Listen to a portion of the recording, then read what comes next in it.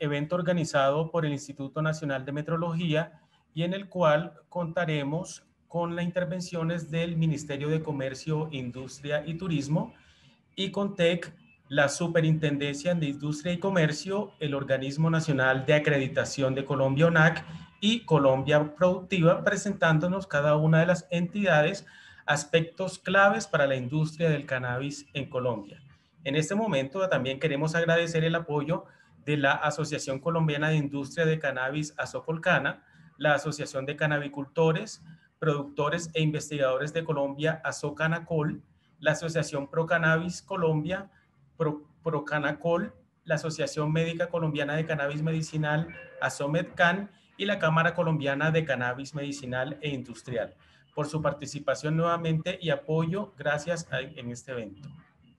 Informamos a todos los asistentes que este evento será grabado como parte de los soportes de los eventos realizados por el Instituto Nacional de Metrología en el proceso de fortalecimiento a la gestión de calidad de diferentes sectores productivos del país. Y para comenzar nuestro evento, invitamos a, en este momento al doctor Aurelio Mejía Mejía, director de regulación del Ministerio de Comercio, Industria y Turismo, que en esta apertura nos hablará del CICAL y su aporte a la inserción a nuevos mercados. Doctor Mejía, bienvenido. Hola, muy buenas tardes. Eh, muchas gracias al INM por gestionar este evento, este espacio.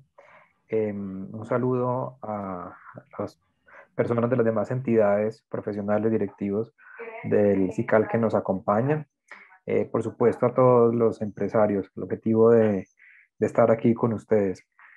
Em, si me permiten, quisiera compartir pantalla.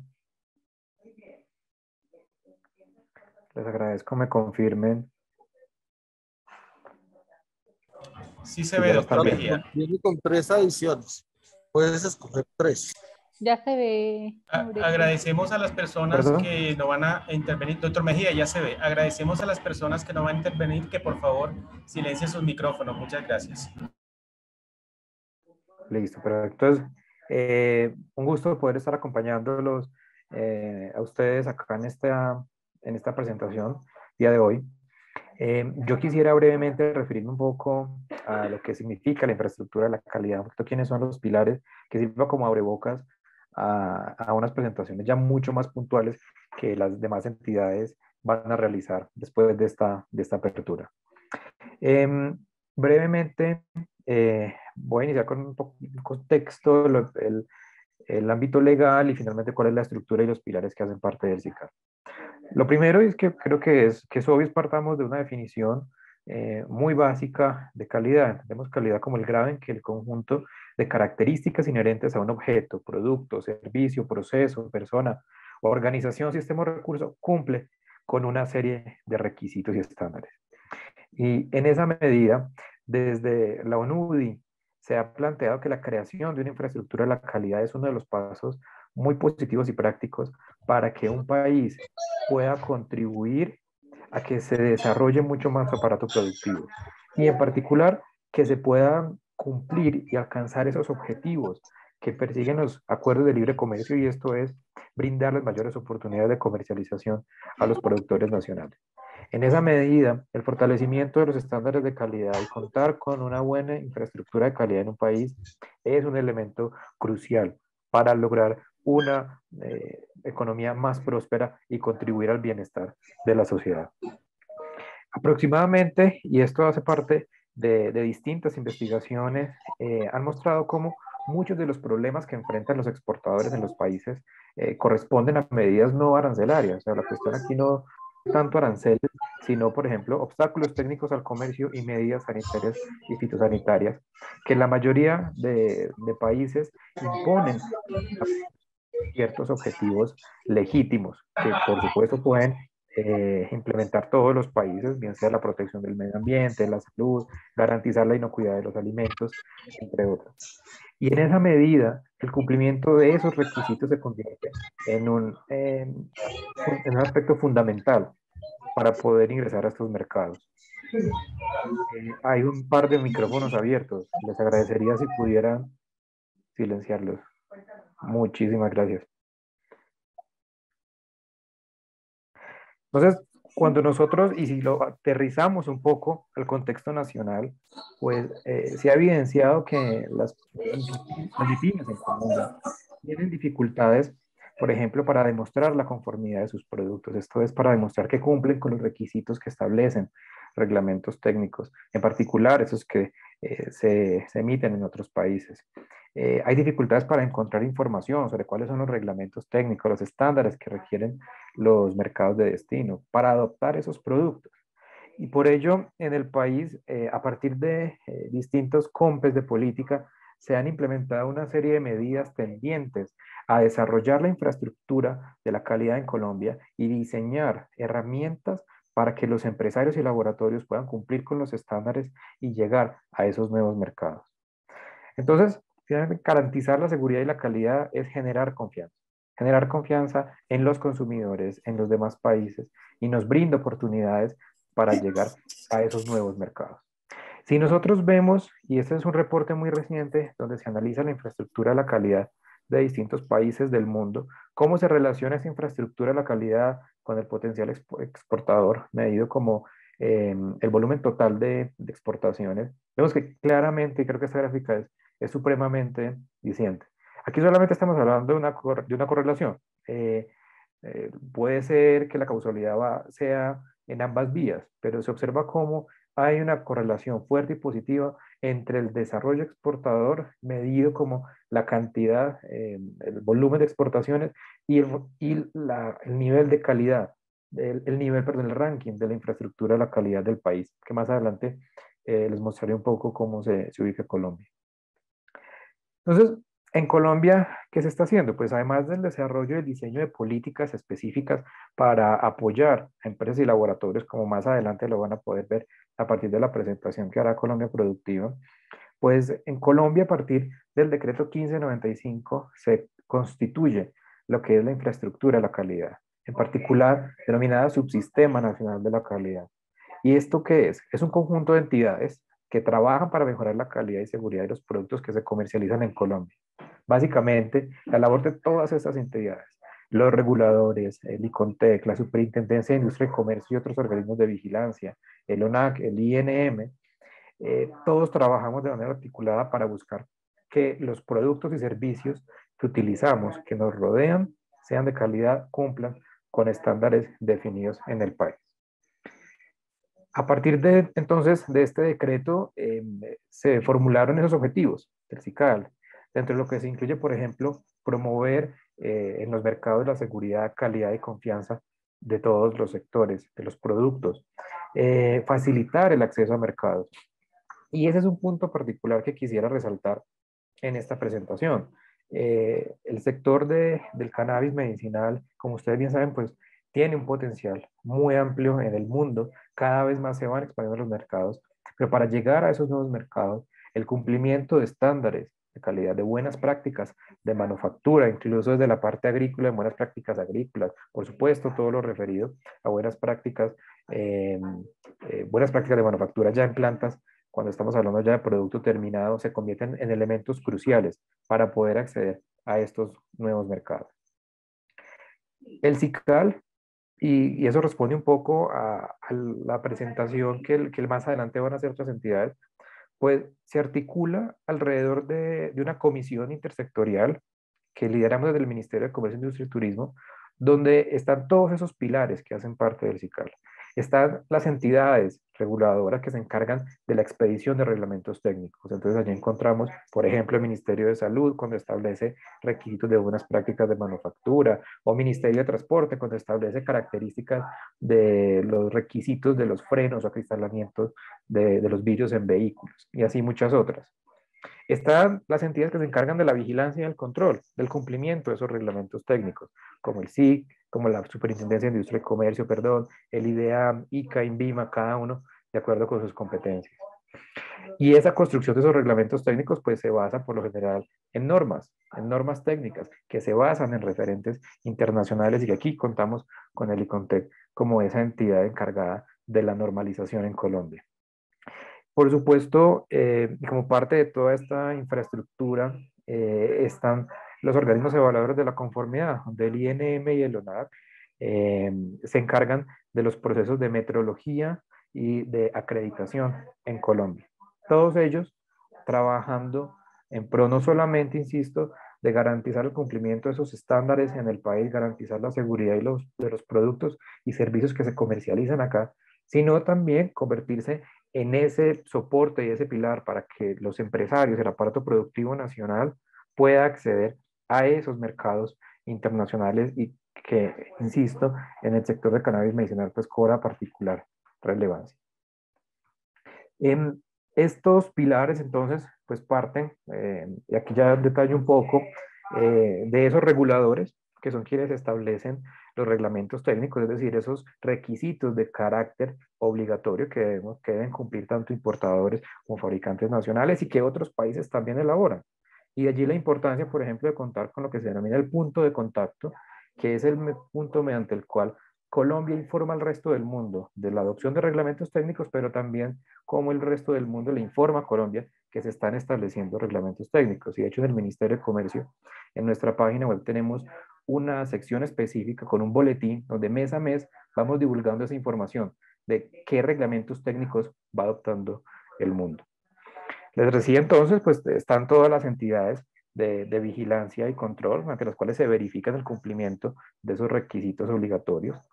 Están todos los organismos evaluadores de la conformidad, que ya son las entidades eh, técnicas que específicamente validan que un bien o servicio esté conforme, es decir, que cumpla con los requisitos establecidos. Por ejemplo, algunas normas exigen que esa demostración de conformidad del cumplimiento de un reglamento técnico sea adelantado por un tercero independiente. En algunos casos puede ser el mismo fabricante quien demuestre que cumple con requisitos, pero por ejemplo en el caso de buenas prácticas agrícolas, buenas prácticas de manufactura, por lo general se requiere un certificado de, un tercero, de la conformidad tercero que garantice que, y que certifique que el bien o servicio está conforme con los requisitos eh, establecidos en un reglamento técnico.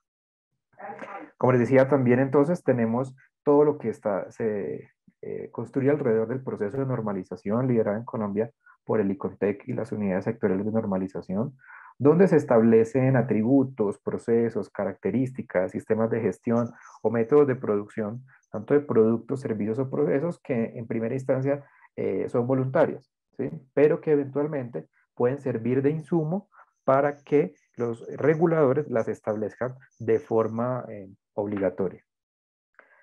Tenemos entonces también todo el proceso de acreditación, que es el procedimiento mediante el cual, eh, con base en normas internacionales y de manera independiente, se evalúa la competencia de una entidad para llevar a cabo tareas específicas de evaluación, es decir, para decir esta entidad puede certificar que se cumpla un determinado reglamento técnico, pues hay una entidad, en este caso el Organismo Nacional de Acreditación en Colombia, que se encarga de certificar que esa entidad efectivamente tiene las competencias para eh, realizar esas, eh, esas actividades.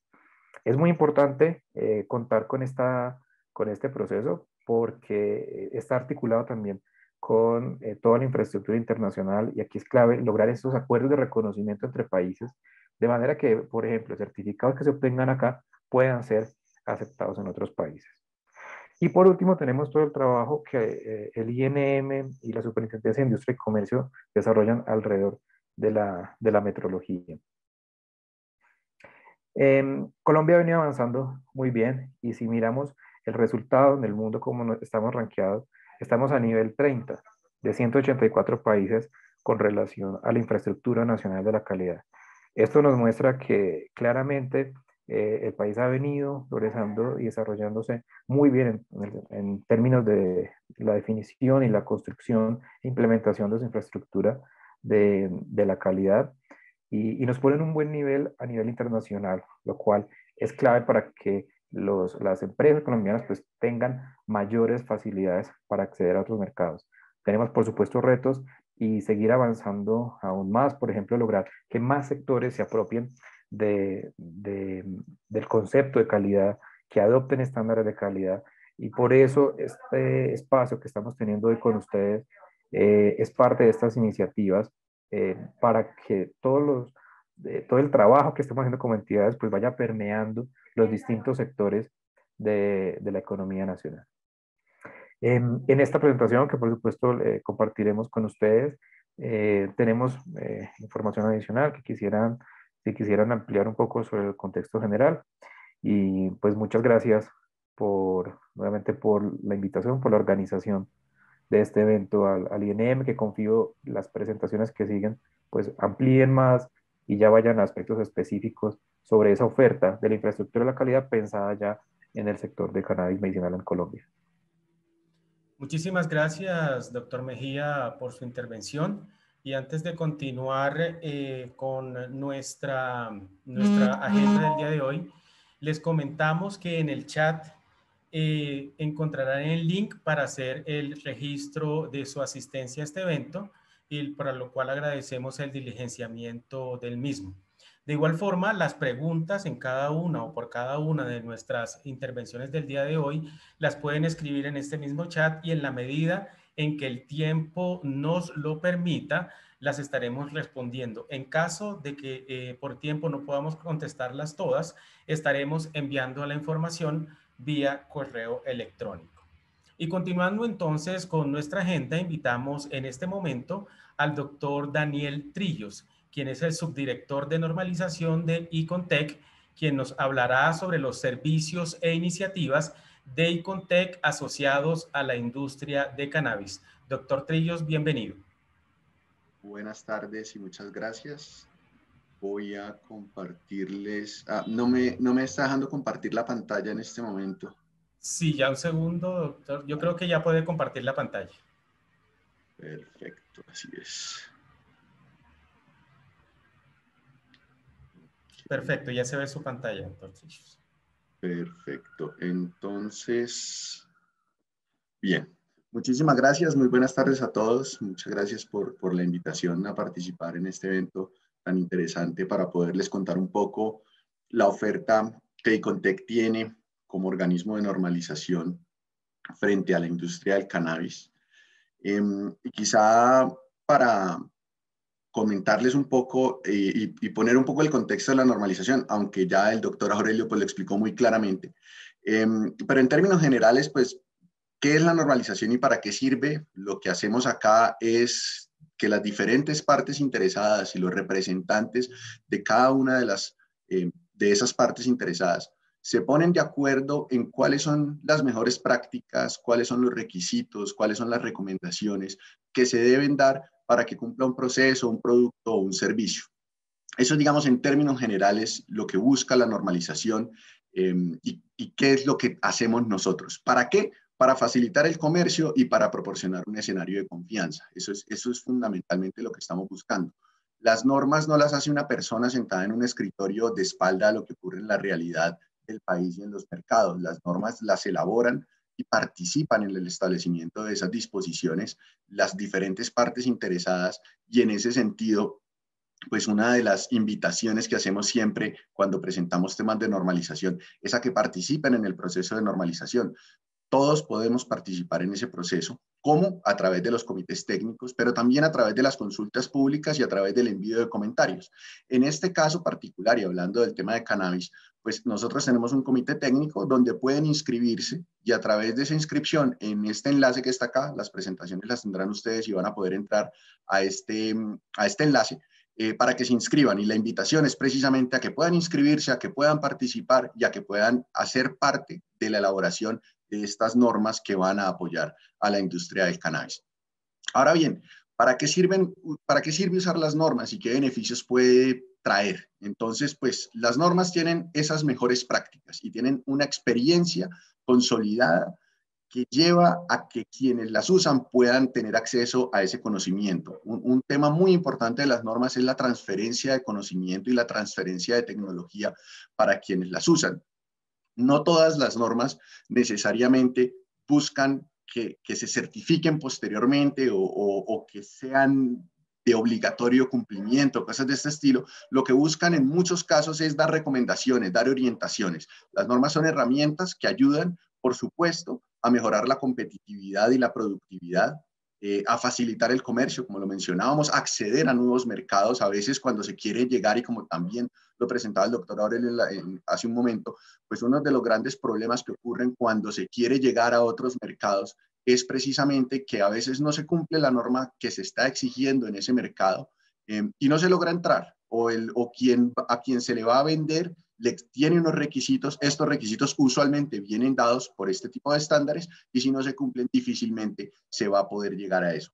Por supuesto, ayuda a unificar criterios, a ponernos de acuerdo en cuál es el requisito, qué es lo que debe cumplir un producto, qué características debe tener ese producto. Entonces, ayuda a, unificar esos criterios y, por supuesto, va a resultar en una, en una comprensión mutua. También un trabajo importante que hacemos desde las normas es ponernos de acuerdo muchas veces en la terminología. Qué términos usar, cómo le vamos a llamar a las diferentes cosas y esto pues nos ayuda precisamente a lograr esa comunicación clara entre las partes. Ya entrando específicamente al tema de cannabis y a la oferta que tenemos dentro de cannabis, nosotros eh, desde 2018 más o menos empezamos a ver la necesidad que se estaba empezando a generar sobre eh, los productos de cannabis, eh, específicamente en su momento de cannabis medicinal. Empezamos a ver que en otros países se empezaban a crear estándares, se empezaban a, legalizar diferentes eh, productos relacionados eh, y derivados del cannabis. y empezamos a analizar la posibilidad de crear un comité técnico. De forma que en 2020, en 2019, perdón, nosotros creamos el Comité Técnico 257 de Cannabis. Este es el ámbito del Comité Técnico. En términos generales, lo que hacemos son normas técnicas, normas o guías, documentos normativos para los productos derivados de cannabis. ¿En qué nos enfocamos? Estamos enfocados en terminología, muestreo, los métodos de ensayo, los análisis, algunas especificaciones de producto y de cultivo y requisitos de empaque, de almacenamiento y de transporte, siempre con un enfoque hacia la hacia la internacionalización y hacia la adopción de normas internacionales y ya les cuento un poco también que estamos trabajando frente a ese tema. Tenemos tres frentes principalmente. Uno, donde estamos trabajando algunos documentos relacionados con el producto y con los procesos de producción. Otro frente, donde estamos muy enfocados hacia los laboratorios, hacia los métodos, los análisis, eh, diferentes características de la operación de los laboratorios de validación de métodos de ensayo. Y tenemos otro frente que está relacionado con sistemas de gestión que ayudan pues a la calidad de la industria del cannabis. Y por supuesto tenemos también pues unos documentos que son de aplicación transversal, por ejemplo, el que les, los que lo que les mencionaba de terminología, un documento de terminología pues es transversal a estos tres sectores que se vienen trabajando. Ahora, dentro de ello, hasta el momento hemos aprobado tres documentos, una guía y dos normas técnicas. ¿Cuál es la diferencia entre la guía y la norma técnica? Que la guía proporciona unas orientaciones y unas recomendaciones, mientras que la guía y mientras que la norma, perdón, plantea unos requisitos. Estos son los tres documentos, dos de ellos los aprobamos el año pasado, uno lo, lo aprobamos a inicio de este año. La guía es una guía para la limpieza y desinfección de un centro de cultivo de cannabis. Este documento y en, línea con esa internacionalización se basa en un documento de ASTM. ASTM es un organismo de normalización que elabora normas técnicas de aplicación internacional, donde de hecho nosotros también participamos y ya les contaré un poquito sobre eso. Em, tenemos entonces pues este documento que se basa en esa norma de ASTM. También tenemos una práctica estándar para la validación de los métodos de ensayo de laboratorio y desarrollo de métodos, también con base en este documento de ASTM, la de 8282. Uno de los beneficios que tenemos al hacer estas dos adopciones es que, por ejemplo, si ustedes quisieran adquirir la norma ASTM, quieren ingresar a otro mercado, quieren demostrar que están cumpliendo con algunas cosas y quieren acceder a la norma ASTM de 8219, por ejemplo, es una norma que la pueden adquirir a través de ASTM, pero seguramente eh, la van a encontrar solamente en inglés por una parte y por la otra a un costo mucho más elevado que lo que la pueden conseguir cuando está adoptada como una norma técnica colombiana y esa es una de las tareas que nosotros desarrollamos también pues, para facilitar esa transferencia de conocimiento al país. Y finalmente, una norma que aprobamos a inicio de este año es la NTC 6511, que son buenas prácticas agrícolas para el cannabis eh, los requisitos generales eh, y de hecho, esta norma 6511 es una norma que puede ser certificable, que se puede demostrar conformidad y obtener pues un, un sello, un certificado eh, indicando que se cumple con esas buenas prácticas agrícolas.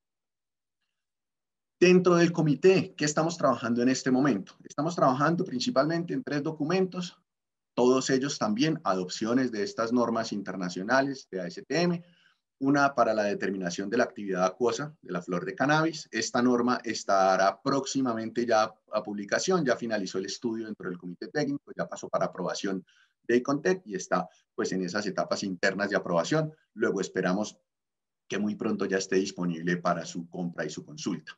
Eh, tenemos una que está en estudio en este momento en el comité técnico. También esperamos que este año salga este documento, un poquito más adelante, seguramente en el segundo semestre, que es de sistemas de análisis de riesgo y puntos críticos de control.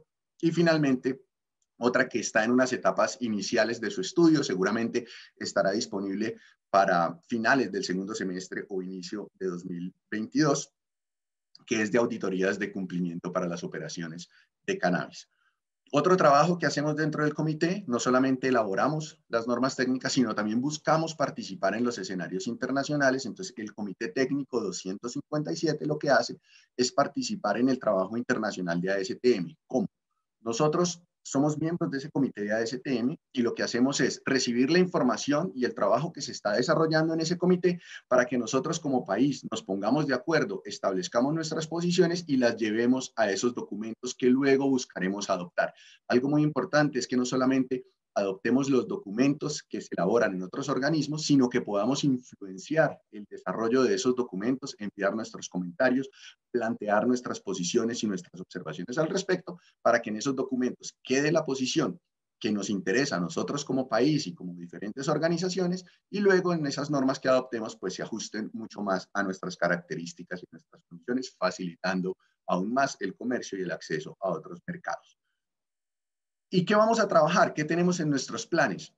Continuar en ese trabajo de ASTM. Esto, este listado que ven acá son documentos que se están desarrollando en este momento a nivel de ASTM y lo que nosotros vamos a hacer frente a ello es estudiarlos nacionalmente, enviar nuestras observaciones y nuestros comentarios a ASTM para que allá sean tenidos en cuenta y posteriormente haremos la adopción de estos documentos. Documentos relacionados con empaque y rotulado, con el retiro y remoción de productos de cannabis en el mercado, terminología, que es un trabajo pues muy importante que vamos a desarrollar, la disposición final de los residuos que vienen eh, o que tienen o, o, contienen o contuvieron componentes de cannabis, operación de laboratorios, los muestreos para los análisis. Por supuesto, seguiremos en temas de sistemas de gestión para la industria del cannabis y un tema también pues muy importante en esta industria que viene relacionado con temas de seguridad y vigilancia y un trabajo también sobre temas relacionados con sostenibilidad. En, este sentido y en estos últimos tres puntos de seguridad, vigilancia y sostenibilidad, se está haciendo también un trabajo a nivel de ISO, que ISO es el organismo internacional de normalización, donde se está elaborando un documento también donde estamos, por supuesto, nosotros como Colombia participando también activamente y la idea es cuando ese documento salga adoptarlo, pero también llevar nuestras posiciones como país a ese escenario internacional. Em, ahora, frente a desarrollos y a otros temas que como ICONTEC estamos em, trabajando y estamos ofreciendo a las diferentes partes interesadas. Como les comentaba, nosotros elaboramos las 6511 buenas prácticas agrícolas y por supuesto, para nosotros es muy importante no solo que la norma salga, sino que la norma se use y se implemente. Entonces, tenemos unos programas de formación precisamente para explicar un poco más en detalle estos documentos y uno de ellos pues es eh, el curso de fundamentos de esta NTC 6511, donde se presentan los requisitos de la norma técnica, se explican un poco más los capítulos que tiene y luego se hace una correlación entre los requisitos de esta norma y los requisitos de otros temas que son exigidos también internacionalmente y que a la industria se le está pidiendo para ingresar a otros mercados. Y tenemos otro programa de formación que es sobre técnicas de auditoría interna de esta NTC 6511. Usualmente estos documentos requieren que se establezcan unos programas de auditoría interna, entonces pues también justamente formamos a estas personas que realizan esas auditorías internas, teniendo en cuenta la GTC, la GTC ISO 19011, que es para las auditorías internas, eh, y esto es lo que contiene principios de auditoría, cómo se hace un programa de auditoría, cómo se realiza y la competencia y la evaluación de los auditores.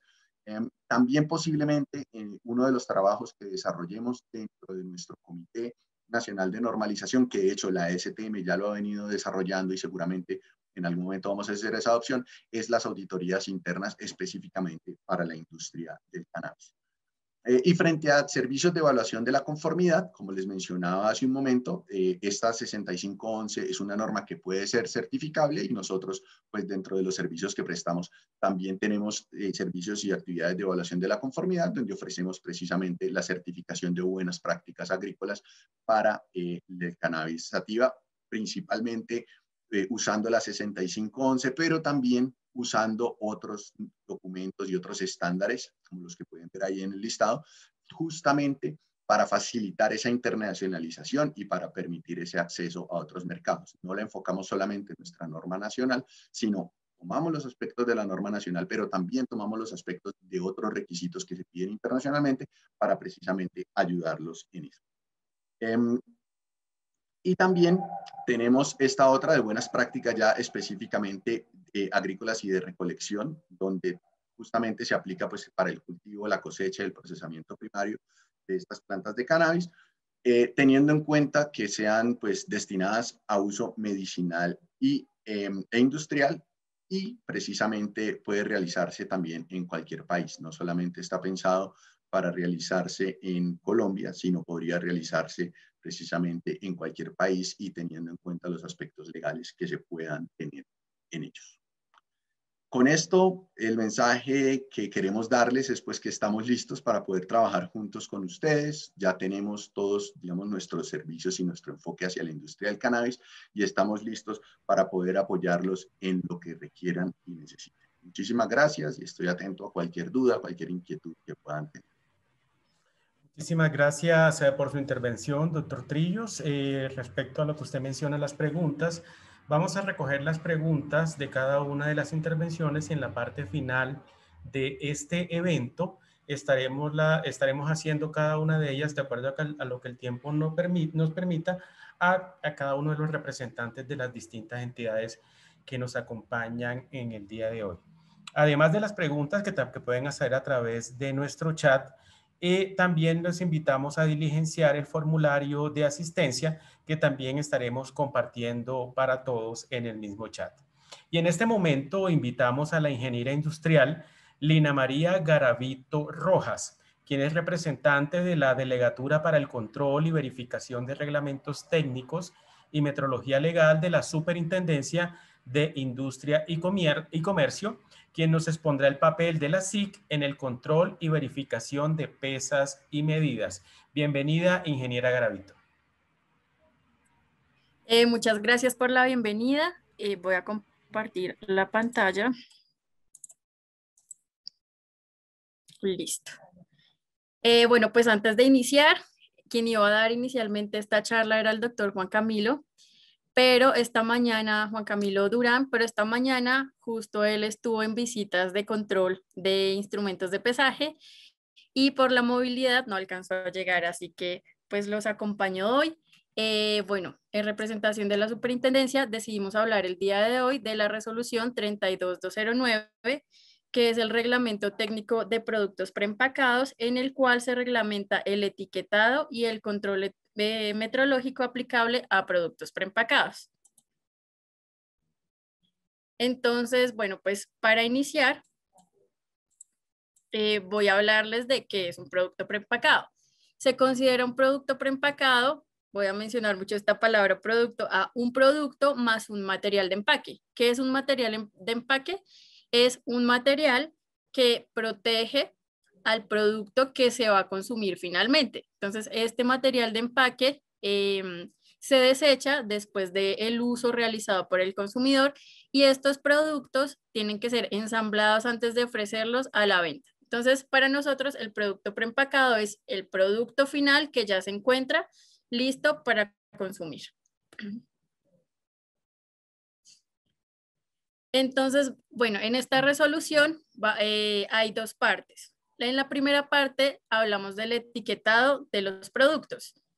Eh, bueno, pues dependiendo de cómo se encuentre eh, declarada la cantidad de cada uno de los productos, hay dos tipos. No, pues de cantidad nominal constante, que son aquellos que encontramos, bueno, en cualquier establecimiento de comercio, y que todas, todos los productos eh, tienen el mismo contenido. Entonces, por ejemplo, si vamos a un supermercado y vemos un paquete de galletas de 100 gramos y todos los productos de esas mismas galletas van a tener 100 gramos. Esto es eh, una cantidad nominal constante. Y una cantidad nominal aleatoria o variable es cuando, em, dependiendo de cada producto, cambia su peso. Entonces, digamos que un ejemplo para que me comprendan es el pollo. Nosotros vemos que cuando vamos a comprar pollo y están bandejas, por ejemplo, tiene una etiqueta y eh, todos los productos de este mismo pollo, digámoslo así, tienen una cantidad diferente y el valor de ese producto depende de esa cantidad. Entonces, estos productos tienen una cantidad nominal aleatoria o variable. La parte eh, de control de cantidad eh, de este reglamento no le aplica a estos productos con cantidad nominal aleatoria o variable únicamente a los productos con cantidad nominal constante. Sin embargo, esta parte de etiquetado sí aplica para todos, para todos los productos. Bueno, también les eh, voy a hablar de cómo encontramos estos productos. Entonces vemos que la cantidad se puede expresar dependiendo de cómo está, pues dependiendo de la naturaleza del producto. Entonces, por ejemplo, para productos sólidos que se encuentran, pues la cantidad se encontrará eh, declarada en masa, es decir, gramos, kilogramos, todos sus múltiplos y submúltiplos. Para eh, productos líquidos se va a encontrar en volumen, entonces tenemos, por ejemplo, eh, los litros, mililitros, etc. También tenemos productos que se encuentran en medio líquido. ¿Qué quiere decir esto? Que una parte del producto se encuentra en masa y otra parte en volumen por ejemplo, eh, las cerezas que encontramos en el supermercado, pues estas rojitas brillantes vienen rodeadas de un líquido que son para protegerlo. Sin embargo, el producto final es, es decir, el producto por el cual el consumidor realiza la compra es la cereza como tal y no el líquido. Entonces, digamos que nosotros nos aseguramos de que eh, el peso sea el de la cereza y se cobre por la cereza. Eh, también tenemos productos congelados o glaseados. ¿Cuál es la diferencia entre estos dos tipos de productos? Los productos congelados simplemente es un producto que se pone en un congelador para hacerlo más sencillo. Y un producto glaseado, además de estar congelado, debido a que son productos generalmente muy delicados, por ejemplo los camarones, tienen una capa de hielo que los recubre. Entonces, digamos que esta es la diferencia. Y el consumidor paga por el camarón en este caso y no por el hielo, ¿sí? Y cuando hablamos de unidades contables, es cuando un producto em, nos declara por unidades y no por las otras eh, cantidades que les he mencionado. Entonces, por ejemplo, ahorita en esta época que se popularizó su venta, que se incrementó su consumo, más bien, por ejemplo, los tapabocas. Entonces uno compra una tapa de una caja de tapabocas y le va a decir vienen 100 tapabocas, más no 100 gramos de tapabocas o 100 mililitros, bueno, sino por unidades, 100 tapabocas. Bueno, entonces, ¿qué nos dice esta parte de etiquetado? Nos establece unas condiciones de etiquetado. Eh, por ejemplo, las declaraciones de cantidad se deben expresar en el Sistema Internacional de Unidades. Recordemos que Colombia se unió a la Convención del Metro entonces, pues debemos eh, unificar eh, todas las cantidades que se declaran. Entonces, por ejemplo, cuando un producto está en masa, debería declararse en kilogramos, que es la unidad eh, del sistema internacional, o se admiten todos sus múltiplos y submúltiplos, por ejemplo, el gramo. Si un producto está en longitud, entonces sería en metros y en volumen se puede en litros o en centímetros cúbicos. De hecho, centímetros cúbicos es la cantidad eh, que se encuentra en el Sistema Internacional de Medidas, pero se permite el litro y todos sus múltiplos y submúltiplos. Eh, adicionalmente, en esta regulación se expresa que no está permitido utilizar expresiones como peso aproximado, llenado aproximado, peso promedio al empacar, etc. Es decir, la cantidad del producto tiene que estar em, declarada de una forma clara, pues.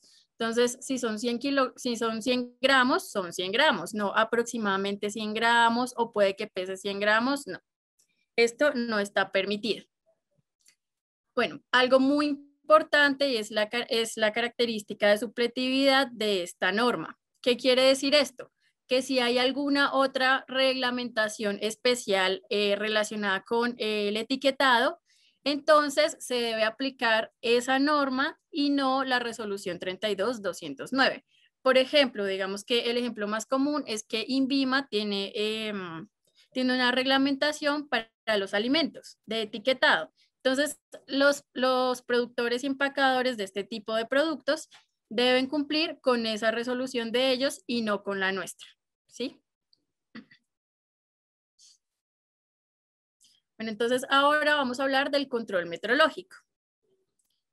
Entonces, bueno, digamos que cuando nosotros hacemos verificación metrológica, nos dirigimos ya sea al empacador directamente o productor o al, a un punto de distribución. Dependiendo del lugar en el que estemos, vamos a seleccionar el tamaño de la muestra. Entonces, lo que hacemos es, si es en un punto de comercialización, distribución o venta, entonces lo que hacemos es eh, verificar el inventario del producto que vamos a, verificar, que digamos que para el resto de la charla voy a poner eh, como ejemplo unas galletas de 100 gramos. Entonces, vamos al punto de comercialización, distribución o venta, por ejemplo, un supermercado de cadena, y solicitamos el inventario de estas galletas. Entonces ellos nos dicen, bueno, tenemos tantas X unidades del lote tal, X de este otro tal otro, seleccionamos un lote y dependiendo de las unidades existentes de ese lote, vamos a tomar una muestra. En el punto de distribución, el muestreo se realiza de manera diferente. Entonces, lo que hacemos allá es preguntar, ¿cuántas eh, galletas de 100 gramos empacan en una hora? Entonces ellos nos dicen, bueno, en una hora de producción se empacan X unidades. Y de acuerdo a eso, vamos a seleccionar la muestra. Entonces, acá se encuentra en esta tabla el plan de muestreo.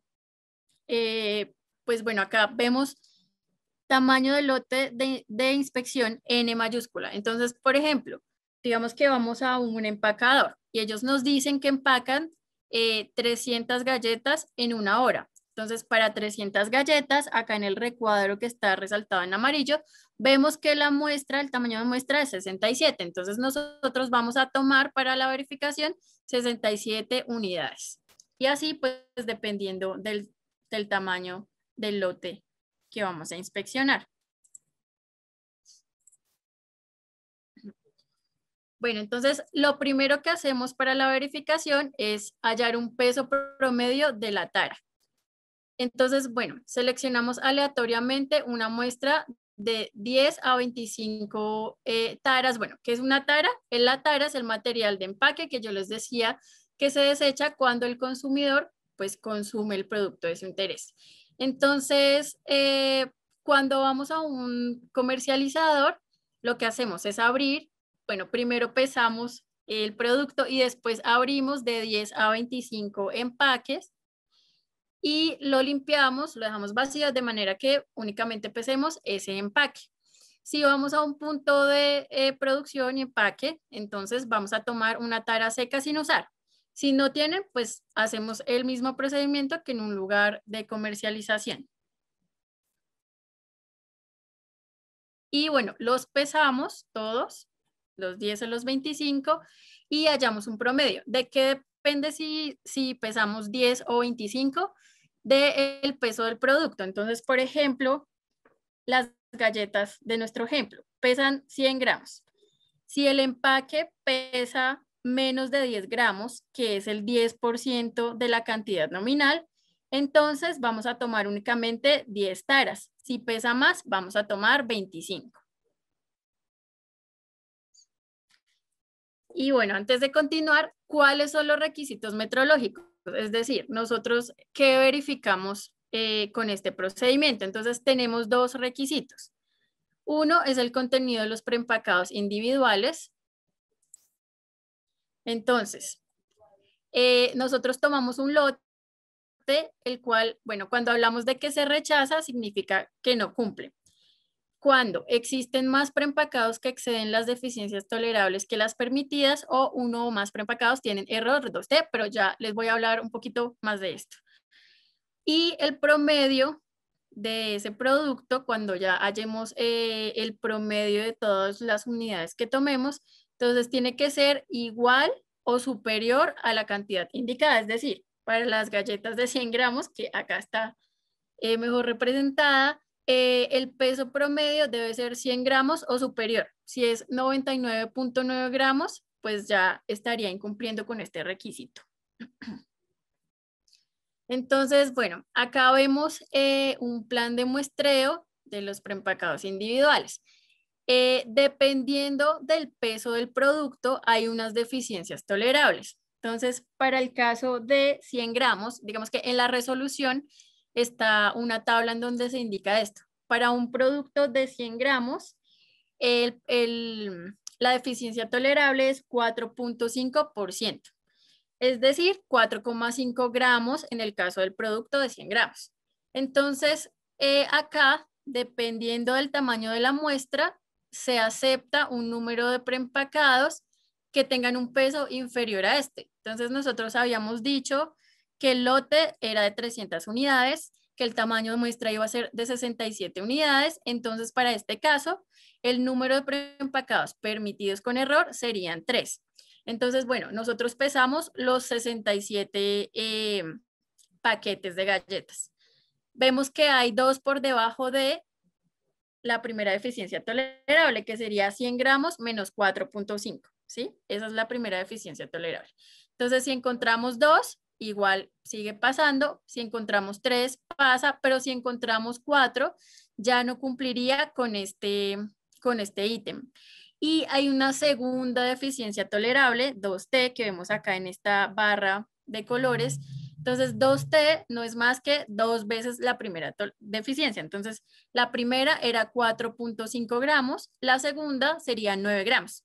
¿sí? Entonces, eh, digamos que lo que hacemos es buscar que no haya un producto con 100 gramos menos 9, es decir, 91 gramos. Si encontramos uno solo que esté por debajo de 91 gramos, entonces el lote se rechaza.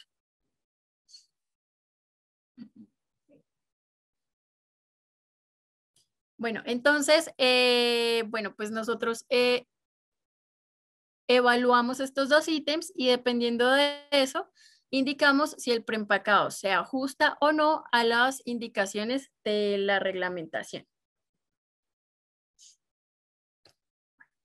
Entonces, digamos que estas son las dos partes que nos hablan eh, de metrología legal y hay otra parte de la resolución que es muy importante y son los preempacados engañosos. Entonces, bueno, ¿qué es un preempacado engañoso?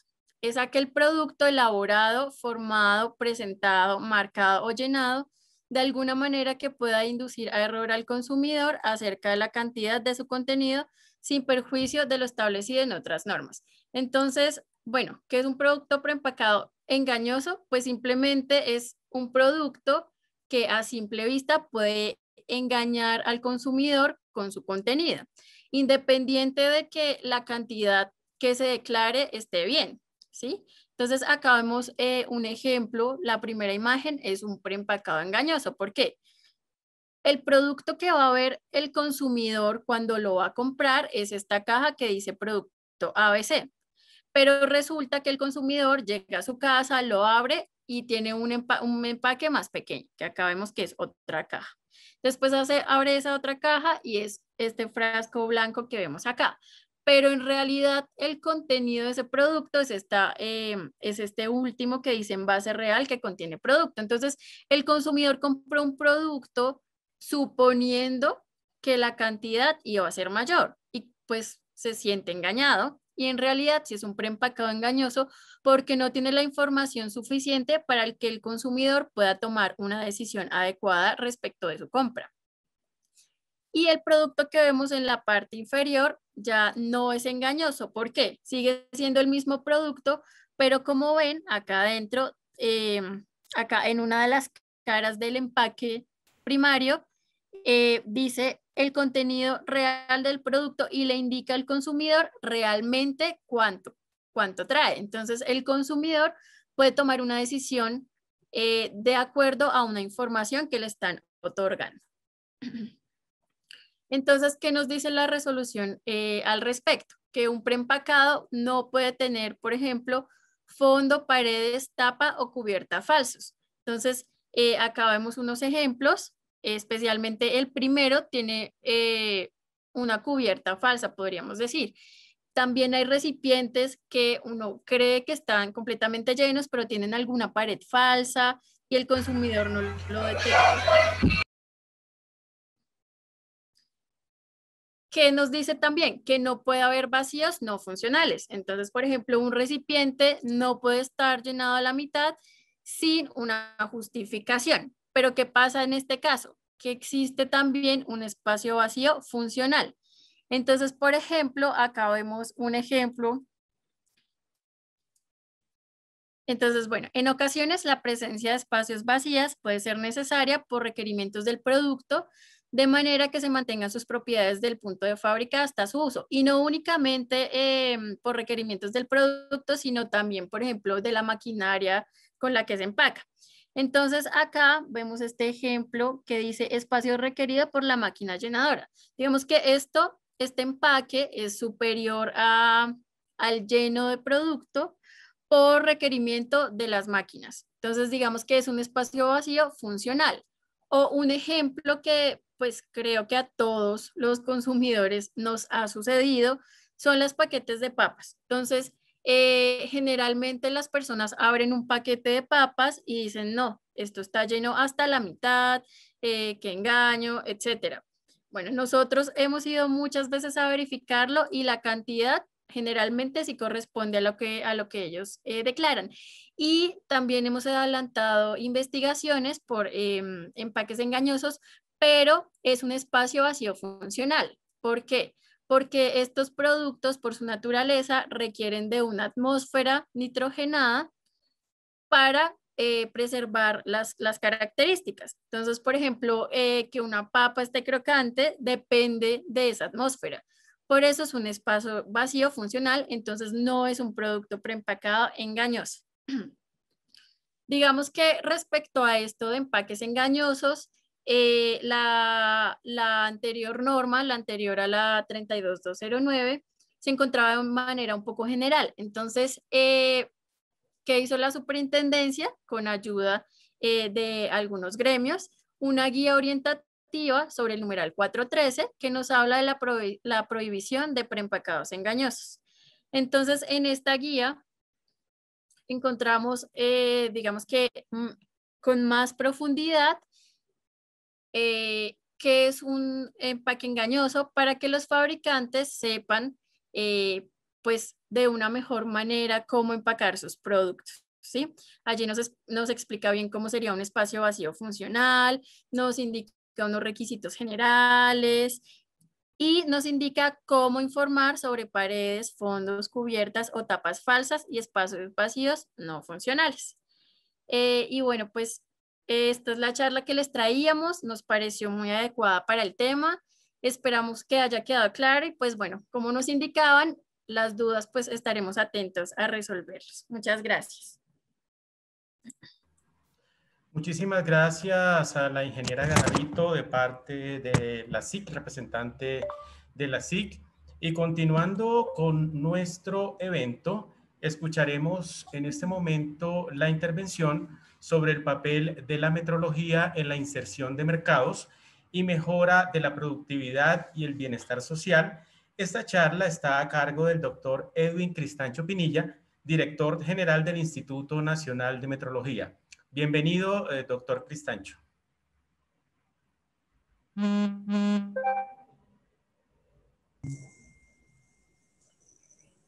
Eh, muy buenas tardes a todos. ¿Pueden ver mi pantalla?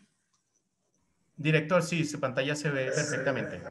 Bueno, un especial saludo a los representantes de ProColombia, Aura Pimiento, Eduardo Sánchez, al doctor Rodrigo Arcila, presidente de Azocolcana, al colega Carlos Aníbal Montoya, a Rodolfo, Gómez, a, a Rodolfo Mejía, a los colegas del la Superintendencia de Industria y Comercio del ICONTEC, del Organismo Nacional de Acreditación de Colombia, a nuestra amiga Olga Lucía Pesca, Muchas gracias por acompañarnos a todos ustedes, por supuesto, al director de regulación del Ministerio de Comercio. Eh, creemos que es un espacio fundamental para poder eh, asegurar que la eh, industria canabicultora en el país conozca sobre las ofertas que tiene la infraestructura de la calidad en Colombia y que nos permite asegurar que sus productos tengan la oportunidad de llegar a los mercados internacionales y eh, tener, no tener restricciones a dichos ingresos. Para contarles sobre lo que desde el Instituto Nacional de Metrología corresponde dentro de esta infraestructura de la calidad, les voy a contar qué es la metrología, para qué sirve, qué es lo que hace el Instituto Nacional de Metrología cuáles son los productos y servicios que tenemos a disposición. Y de allí quiero hacer énfasis en una propuesta que ya tenemos desde el Instituto Nacional de Metrología para el sector canabicultor, cómo está estructurada la metodología para que vayamos sensibilizándonos en cuál podría ser la contribución que desde su parte podemos tener para hacer posible este estudio.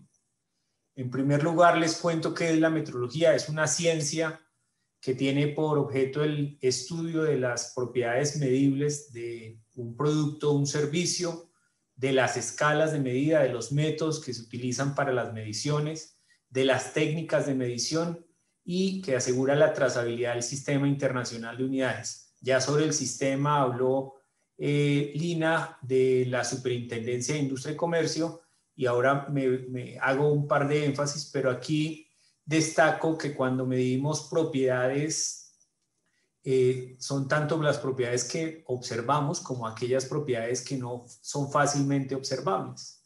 Entonces, eh, las, las, propiedades que observamos son, por ejemplo, el tamaño. Y ya Lina les estaba contando que ahí es importante que asociemos aspectos como el, eh, aspectos como la, como la masa, un segundo, por favor. ¿Están viendo la pantalla completa? Eh, director, no avanza su presentación. Está, estamos todavía en la primera diapositiva. Ahí. No, señor, todavía no la vemos en pantalla completa.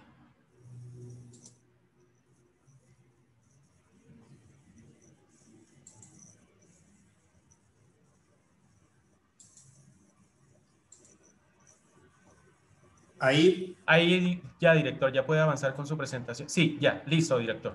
Listo, esta era la agenda que les estaba hablando, les estaba contando qué es la metrología. Y respecto a la metrología, les estaba diciendo que aquí es importante no solo las eh, características o propiedades visibles, sino también hay unas características o propiedades que requieren unas eh, formas, unos métodos y unas técnicas de medición particulares. Y dentro de características que no son fácilmente medibles, por ejemplo, están la temperatura, que puede ser importante para un proceso productivo, para hacer más eficiente un proceso de extracción de un aceite. Eh, pueden estar asociadas, por ejemplo, características como el contenido de los cannabinoides de, una, de un aceite, también eh, eh, para cada una de esas propiedades, pues hay, eh, insisto, métodos, técnicas que son determinantes para que sus productos puedan llegar a los mercados internacionales. El riesgo de no medir adecuadamente y de no tener métodos claros es que sus productos pierdan la posibilidad de tener valor agregado en los mercados finales. Entonces, pensando en para qué sirve la metrología, pues nos sirve para asegurar que nuestras mediciones sean confiables.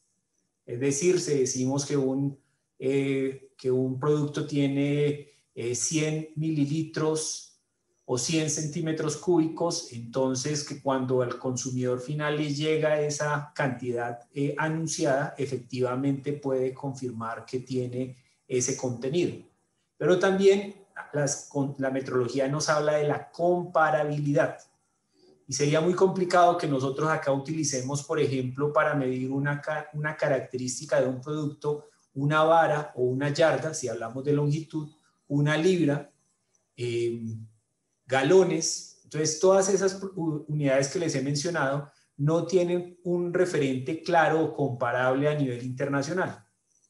Hasta hace menos de 100 años se reportaban muchísimas varas, muchísimas yardas en muchos lugares de América y en la misma España. De modo que lo que han hecho los estados es insistir que hay una sola unidad de medida para la, para la longitud, el metro. Lo mismo ocurre con la libra. Tenemos diferentes tipos de libras. Hay algunos dicen que dicen que son 454, otros que son 500 y por tanto lo que han hecho los estados es restringir el uso de ese tipo de unidades porque para el caso de la, de la magnitud masa pues tenemos es el kilogramo eh, que es lo que es adecuado para utilizar en los mercados internacionales. Similar ocurre con el volumen. Entonces, eh, tenemos al menos dos tipos de galones. El galón imperial de 4.000 y tantos eh, centímetros cúbicos o el galón americano de 3.800 tantos centímetros cúbicos. Entonces, para evitar cualquier diferencia, el Instituto Nacional de Metrología y muchas entidades del CICAL, incluyendo el Ministerio, eh, la superintendencia, estamos comprometidos con la transición del galón al litro. Y el usar el litro como unidad de medida y todos los múltiplos y, submúltiplos nos permite que nuestros productos no tengan riesgo de, que lleguen a los mercados internacionales y estén claramente etiquetados y aceptados por las otras partes. En segundo lugar, hablamos de la metrología como eh, un instrumento para mejorar la productividad y hacer un, uso eficiente de los recursos, evitar pérdidas, reprocesos, controles de materias primas. Supongamos, y este es un ejemplo, este es un ejemplo inspirado en lo que ocurre en la realidad, que una industria tiene que ensamblar eh, partes de, una, de un proceso y tiene que solo ensamblar productos que cumplan con las características determinadas por, por ejemplo, una industria ensambladora.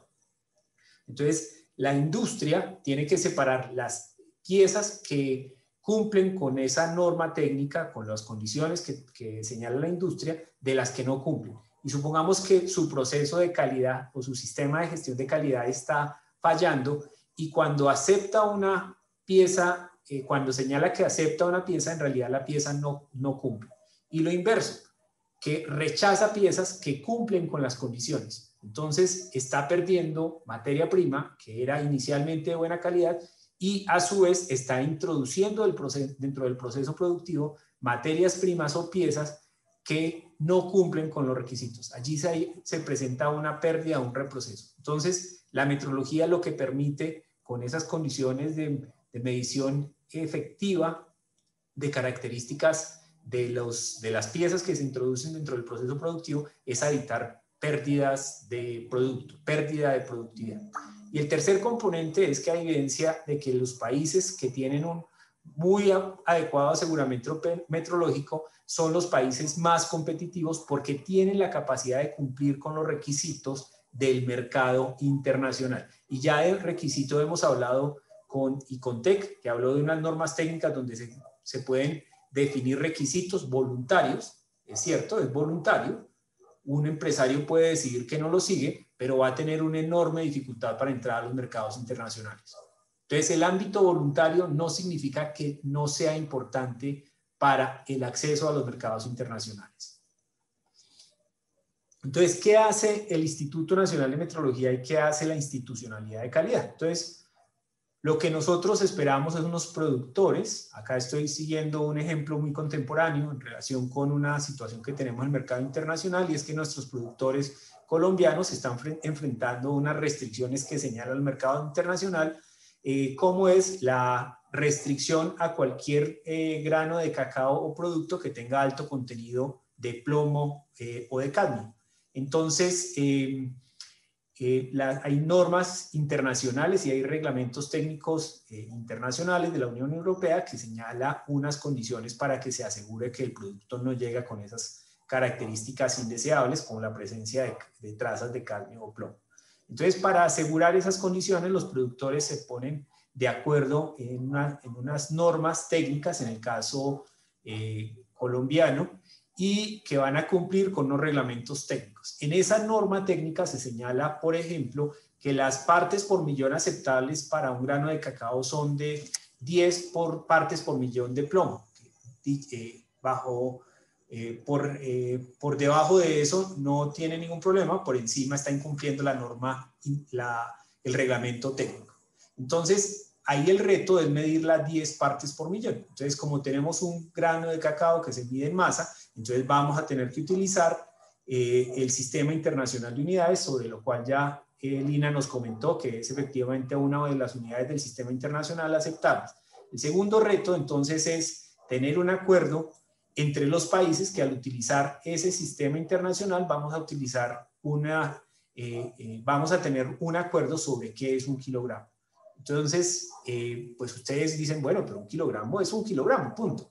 Y la verdad es que no el kilogramo es, eh, lo conocemos como tal desde hace solo 146 años y curiosamente hace dos años dijimos vamos a redefinir qué es un kilogramo, porque nos dimos cuenta que el pedazo de metal que llamamos hace 146 años kilogramo estaba perdiendo eh, del nivel de parte por, eh, por millón, o sea, tenía unas pequeñas variaciones. Los 146 años desde que teníamos esos kilogramos nos dimos cuenta que estaba perdiendo unas partes muy chiquitas y en otros casos estaba ganando otras partes muy chiquitas. Pero eso, era un, eso estaba afectando el hecho de que pudiésemos medir las partes por millón que necesitamos garantizar en la medición de, eh, de, los, de los granos de cacao. Entonces, por eso se hizo unos, eh, durante unos estudios durante mucho tiempo y se acordó que todas las unidades del sistema internacional van a estar soportadas en constantes universales, constantes básicas que son capaces de diferenciar del orden de parte o de, la unidad en, una, en el orden de 1 por 10 a la 20, 1 por 10 a la 30, es decir, mucho más eh, pequeño de las partes por millón. Ese acuerdo lo hacen a través de un una institucionalidad que es la Convención del Metro, que tiene una, eh, una gobernanza eh, que es una, una conferencia general de todos los países que firmamos la Convención del Metro. Nos organizamos como regiones. Acá está América, acá está Europa, acá está lo que antes era la Unión Soviética, acá está Asia, está África, está el Golfo Pérsico. Y nosotros, dentro de la institucionalidad de América, el Sistema Interamericano de Metrología, definimos o establecemos las reglas para que eh, los patrones nacionales como el kilogramo los mantengamos en las características y, y, si demostramos que tenemos capacidad para mantener y definir qué es un kilogramo, entonces somos aceptados o somos reconocidos como institutos nacionales de metrología. Pero ese kilogramo lo tiene el Instituto Nacional de Metrología muy bien guardado, conservado, haciendo la investigación regularmente, pero eso cómo lo llevamos a los servicios que necesitan los industriales. Entonces, lo que hacemos es que el Instituto Nacional de Metrología le presta una serie de servicios a los laboratorios y esos laboratorios a su vez le prestan servicios a los laboratorios de ensayo que están atendiendo a la industria.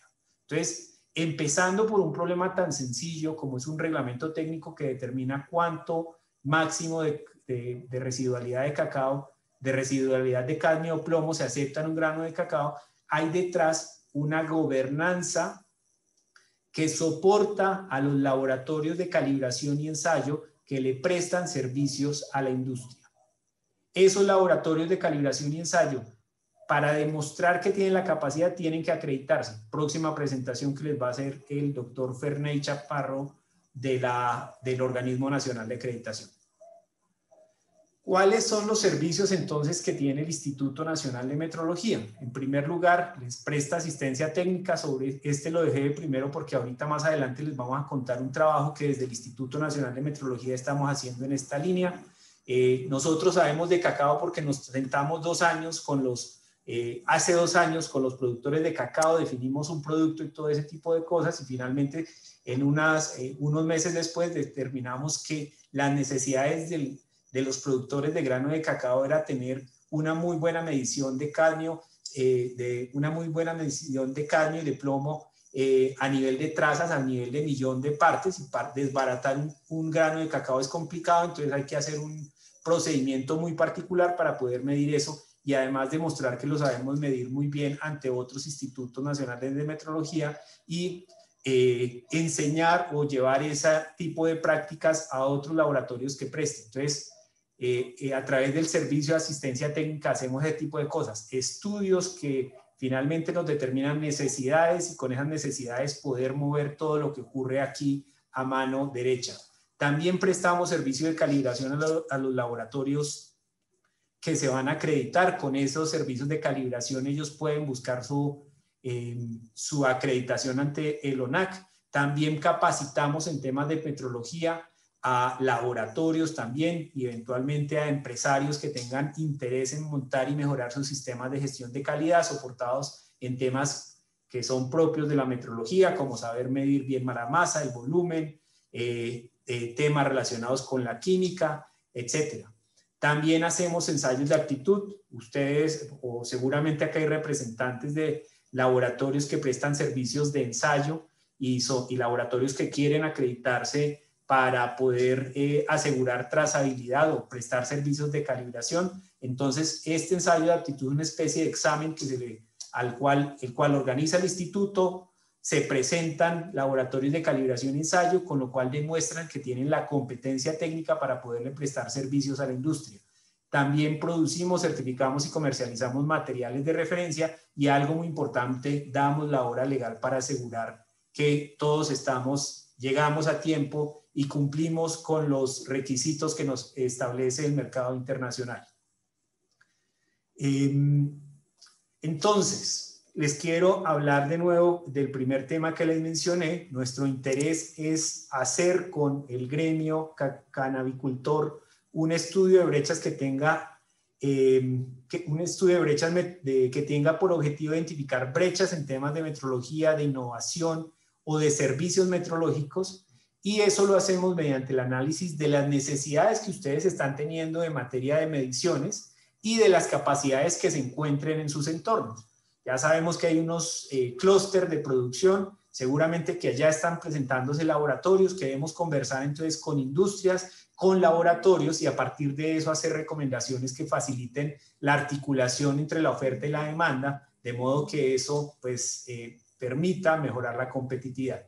Aquí estoy brevemente señalando cuáles son los, las etapas de, la, de un estudio, se hace una una selección de un producto, se revisa el estado del arte en términos de normas técnicas, de artículos que estén trabajando, posibles patentes, se hace luego una identificación de necesidades con los empresarios, se visitan si es necesario algunas empresas y, y, se discute que si eso está alineado, bien sea con, con eh, normas técnicas o con reglamentos técnicos, Luego se hacen visitas a los laboratorios de tercera parte que van a atender las necesidades de las, de las industrias. Primera parte son los laboratorios de las mismas empresas. Tercera parte son los laboratorios a donde ustedes verifican si sus mediciones están funcionando bien y que son el soporte para que ustedes puedan exportar. Un laboratorio de tercera parte debe ser el soporte para que usted no tenga ninguna restricción para, el, para la eh, exportación o al menos facilitar el proceso de, acceso a mercados internacionales. Luego se hacen mesas de trabajo para priorizar y, finalmente pues es, eh, validar las, los resultados y finalmente pues eh, cerramos con las recomendaciones que también son validadas con cada uno de ellos. muy importante que en este trabajo pues nos acompañe quien será la última expositora, la doctora Olga Lucía Pesca, que es líder en materia de calidad dentro de Colombia Productiva, el Instituto Colombiano de Normas Técnicas, porque ellos eh, con el trabajo que van haciendo en temas de normalización se van definiendo cuáles son las necesidades en, en materia de calidad con el Organismo Nacional de Acreditación, las empresas y por supuesto los gremios. Sin los gremios, esta selección de productos es imposible. A un productor se le puede ocurrir que es muy importante la hoja y el tamaño de la hoja pero si uno se pone a mirar con los gremios cuáles son las apuestas importantes que tiene la industria, entonces es más fácil definir un producto. Y a partir de eso nos vamos todos con ese producto y hacemos el estudio alrededor de ese producto y en la medida de lo posible la región en la cual vamos a trabajar. Bueno, eso era lo que les quería contar y ojalá que al final haya muchos, muchas preguntas sobre este tema. Muchas gracias. Muchísimas gracias, doctor Cristancho, por esta intervención, por mostrarnos el, el, rol de la metrología y de los servicios que se ofrecen desde el instituto para el sector productivo canabicultor.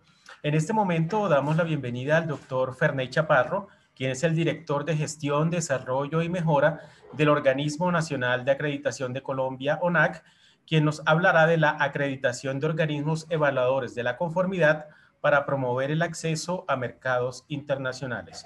Bienvenido, doctor Chaparro. Muchas gracias. Buenas tardes a todos.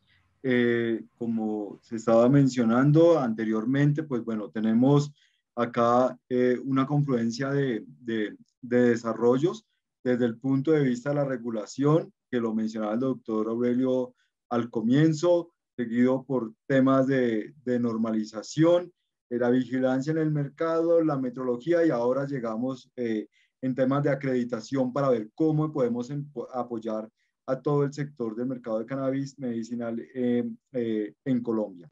Lo que nosotros hicimos y, y es importante empezar a, a, mirar es como cuál es el, el, el estado del arte asociado a, a, la, a, la, actividad de calidad eh, en la industria de cannabis. Hicimos un recorrido por diferentes países asociados a ver cómo estaba el tema asociado al, a la acreditación de laboratorios para posteriormente mirar eh, de, eh, Colombia cómo estamos respecto al mundo. Entonces, comenzamos analizando eh, Canadá, el organismo eh, de acreditación de, de, de Canadá es el Standard Council of Canada, que es el organismo también de normalización. En, en, Canadá es organismo de normalización, organismo de acreditación y metrología, eh, que, que, estaríamos apoyando eh, eh, la actividad de calidad y lo que podemos decir de la investigación que hicimos es que en Canadá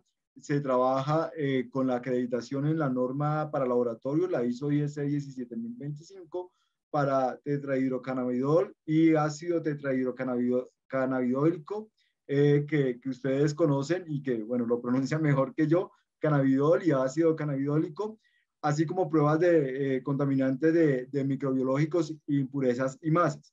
Entonces, eh, digamos, dejemos de, eh, dejé estas, estas letras que están aquí en color rojo están asociados a, a, los ensayos que son comúnmente utilizados, pero empezamos a ver otros elementos asociados a identificar de otras matrices y vamos a traerles también un ejemplo de cómo, eh, cómo está este desarrollo en Colombia. Pues y acá también, para, para contarles, está la pruebas o, adicionalmente otros resultados asociados a que también están incluidos, por ejemplo, residuos de pesticidas y otros elementos eh, más. En Estados Unidos, pues tenemos eh, la oferta de A2LA. A2LA es la Asociación de Laboratorios de Acreditación, de, de Laboratorios para Acreditación. Eh, A2LA eh, es un organismo de acreditación. En Estados Unidos hay, cinco, hay siete organismos de acreditación. Uno de ellos, de los más importantes, es A2LA. A2LA ofrece también la acreditación en 17.025 eh, dentro, de, dentro de sus requisitos, pero también establece otros requisitos adicionales derivados al programa de certificación enfocada, enfocada al paciente y eh, para laboratorios de ensayo también eh, se trabaja con, con, cannabis medicinal en requisitos que incluyen eh, la seguridad y capacitación de personal y recepción de muestras, cadena de custodia, manejo y eliminación y revisión de datos. Ese, ese, es un, ese es un esquema mucho más completo que lo que hemos observado en los otros países porque, porque hace un tratamiento eh, casi eh, eh, en toda la cadena y es bastante interesante poderlo observar eh, eh, la manera como, como en, en, el organismo de acreditación A2LA han definido estos requisitos. Las pruebas, las pruebas que, que, que se pueden eh, eh requerir, eh, bueno, pues están particularmente las conocidas y las típicas para, para la actividad de, de, cannabis medicinal, pero también incluye plaguicidas, fungicidas, reguladores de crecimiento vegetal, solventes eh, residuales, metales pesados, contaminantes microbiológicos y otros. Y eh, pues digamos es importante que, que, se vea que no solamente está asociado a los cannabidoles, sino también a otros elementos u otros, u otros puntos de calidad que están definidos. Ahora, acá es, es, es bastante interesante también contarles eh, que eh, esto se da, o esta, eh, estos requisitos adicionales de calidad sobre el, el cannabis se da a partir de las normas. Entonces, las normas, como lo estaba mencionando hace un rato el doctor Daniel Trillos, lo, que, lo que sucede es que definen requisitos de calidad y esos requisitos de calidad después son traducidos en actividades de evaluación de la conformidad que son acreditados. Entonces, ¿cómo funciona esta cadena?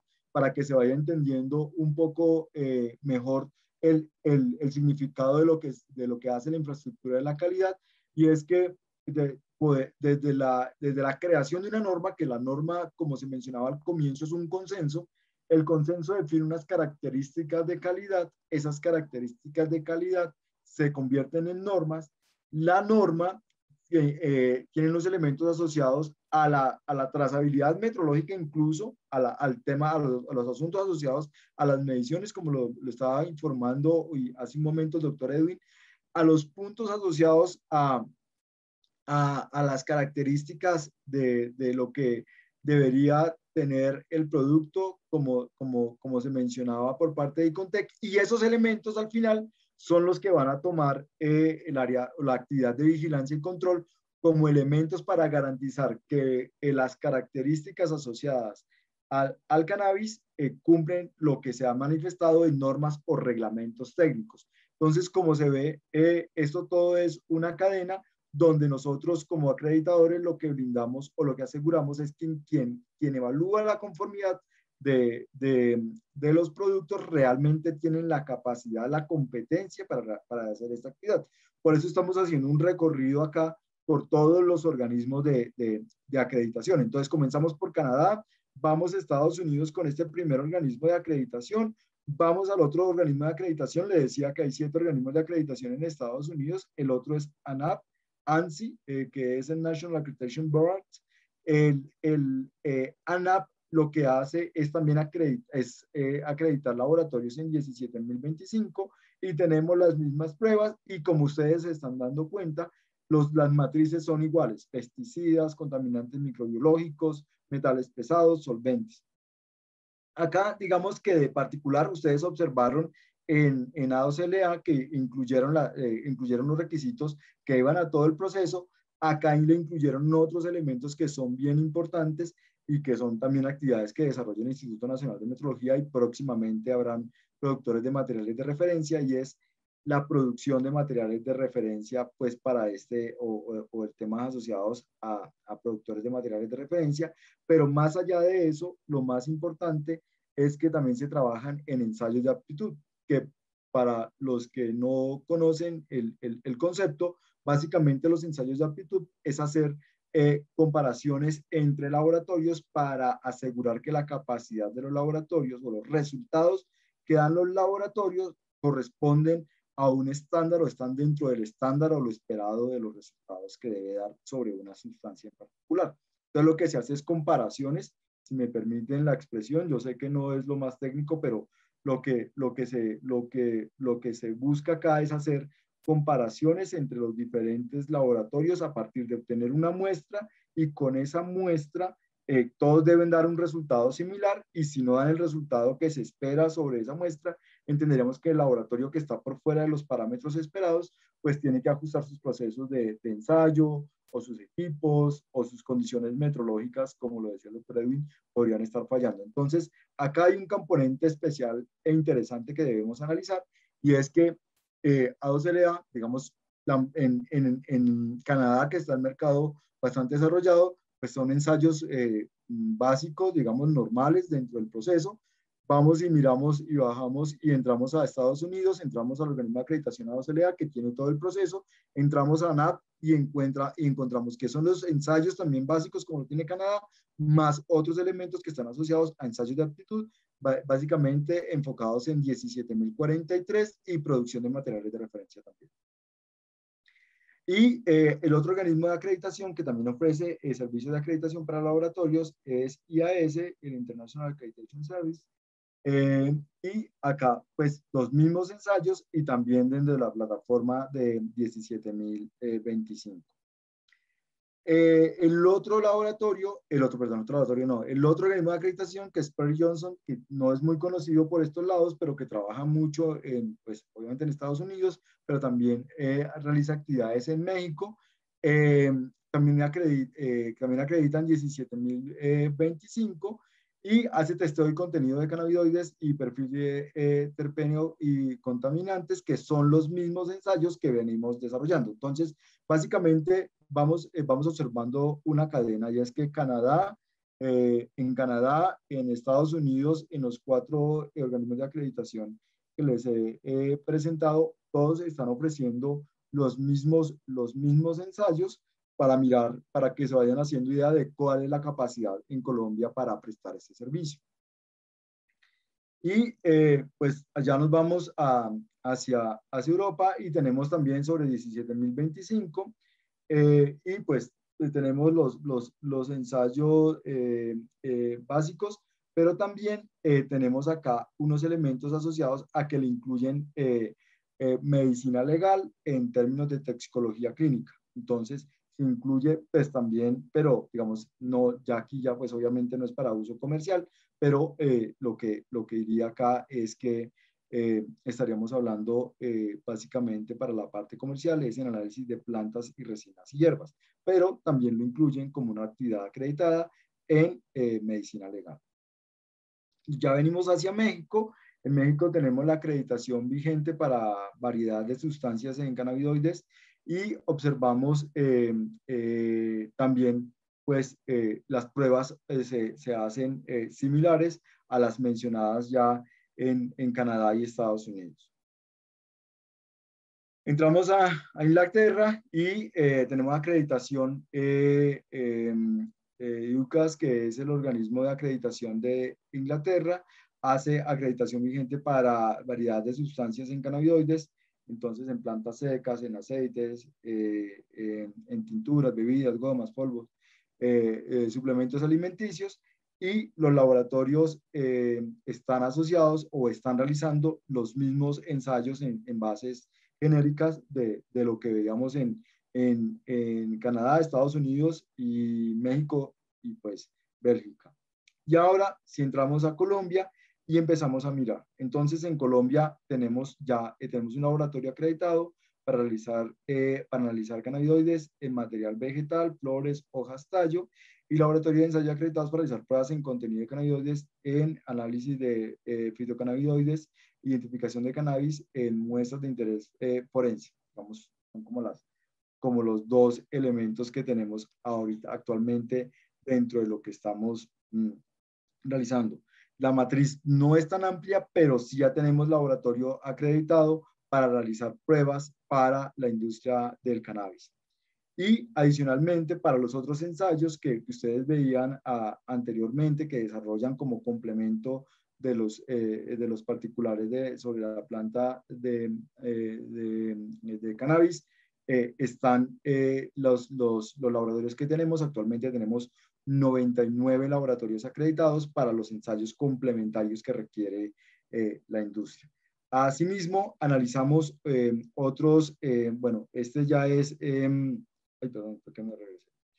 Y ah, ahora sí, asimismo analizamos otros países como República Checa, Dinamarca, eh, Alemania, y encontramos eh, que, eh, digamos, también se trabaja desde los análisis típicos para la, para, la, para la actividad y adicionalmente se trabaja también en el área, en el área forense. Y adicionalmente, eh, para, para, los temas asociados, que lo mencionaba también eh, eh, el ingeniero Daniel Trillos en su conversación, actualmente se está desarrollando una norma precisamente para, para cannabis y, alimentos, que son programas y prerequisitos para seguridad alimentaria, productos de cannabis, comestibles, aceites, extractos típicos e aceites, que se está desarrollando una norma sobre la ISO 22000, pues no sabemos exactamente cuál número va a quedar, pero está en el desarrollo de las normas. ¿Por qué traemos esta información aquí a este, a este punto? Es para decir que la industria no solamente son laboratorios, sino también se trabaja en elementos asociados a la gestión de la producción y a la gestión de, eh, de la inocuidad del alimento cuando con base, con base eh, en cannabis y, se tendría en cuenta eh, estos elementos como normas de referencia pues para trabajar para trabajar la industria del cannabis, que es, cannabis, perdón, que es mucho más amplia, que es mucho más que, que, que, los laboratorios. Y en Colombia desde la organismo de acreditación, pues estamos acompañando estos procesos y estamos en capacidad de acreditar organismos de certificación para estas actividades. Básicamente es para, para, para darles a ustedes eh, como una, una mirada de la capacidad que tenemos para el desarrollo en aspectos relacionados con la calidad y la confirmación de la, de la, de la calidad o de la, eh, eh, de la confirmación de que el producto de, que proviene de cannabis cumple con las características de norma que se han establecido, pues eh, eh, digamos tenemos la capacidad como Colombia eh, desde el punto de vista de la acreditación. Eso es, muchas gracias y esa era la información que les teníamos desde ONAC para el día de hoy. Doctor Chaparro, muchísimas gracias por esta intervención, por este panorama no solamente de cómo se está manejando el tema a nivel internacional, sino también cómo lo estamos haciendo en Colombia a través de la gestión del ONAC.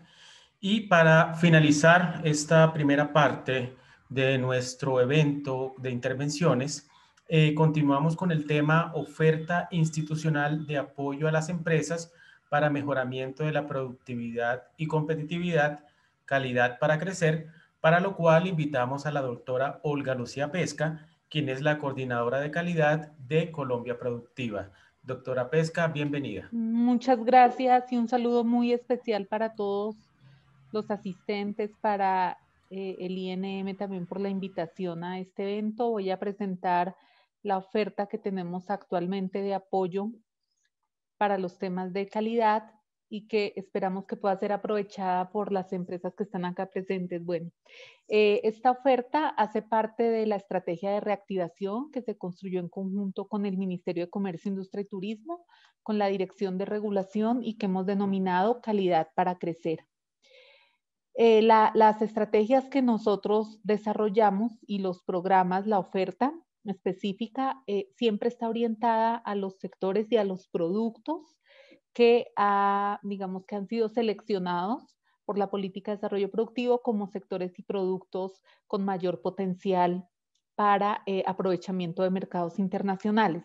Entonces, por tanto, eh, empiezo por contarles cuál es ese alcance específicamente para cannabis y en este caso, eh, nosotros incluimos para el sector farmacéutico los productos farmacéuticos con cannabis, el producto medicinal que tiene cannabis, y desde el sector cosmético, mm, la materia prima que es empleada para este tipo de productos, que son los aceites o extractos de cannabis.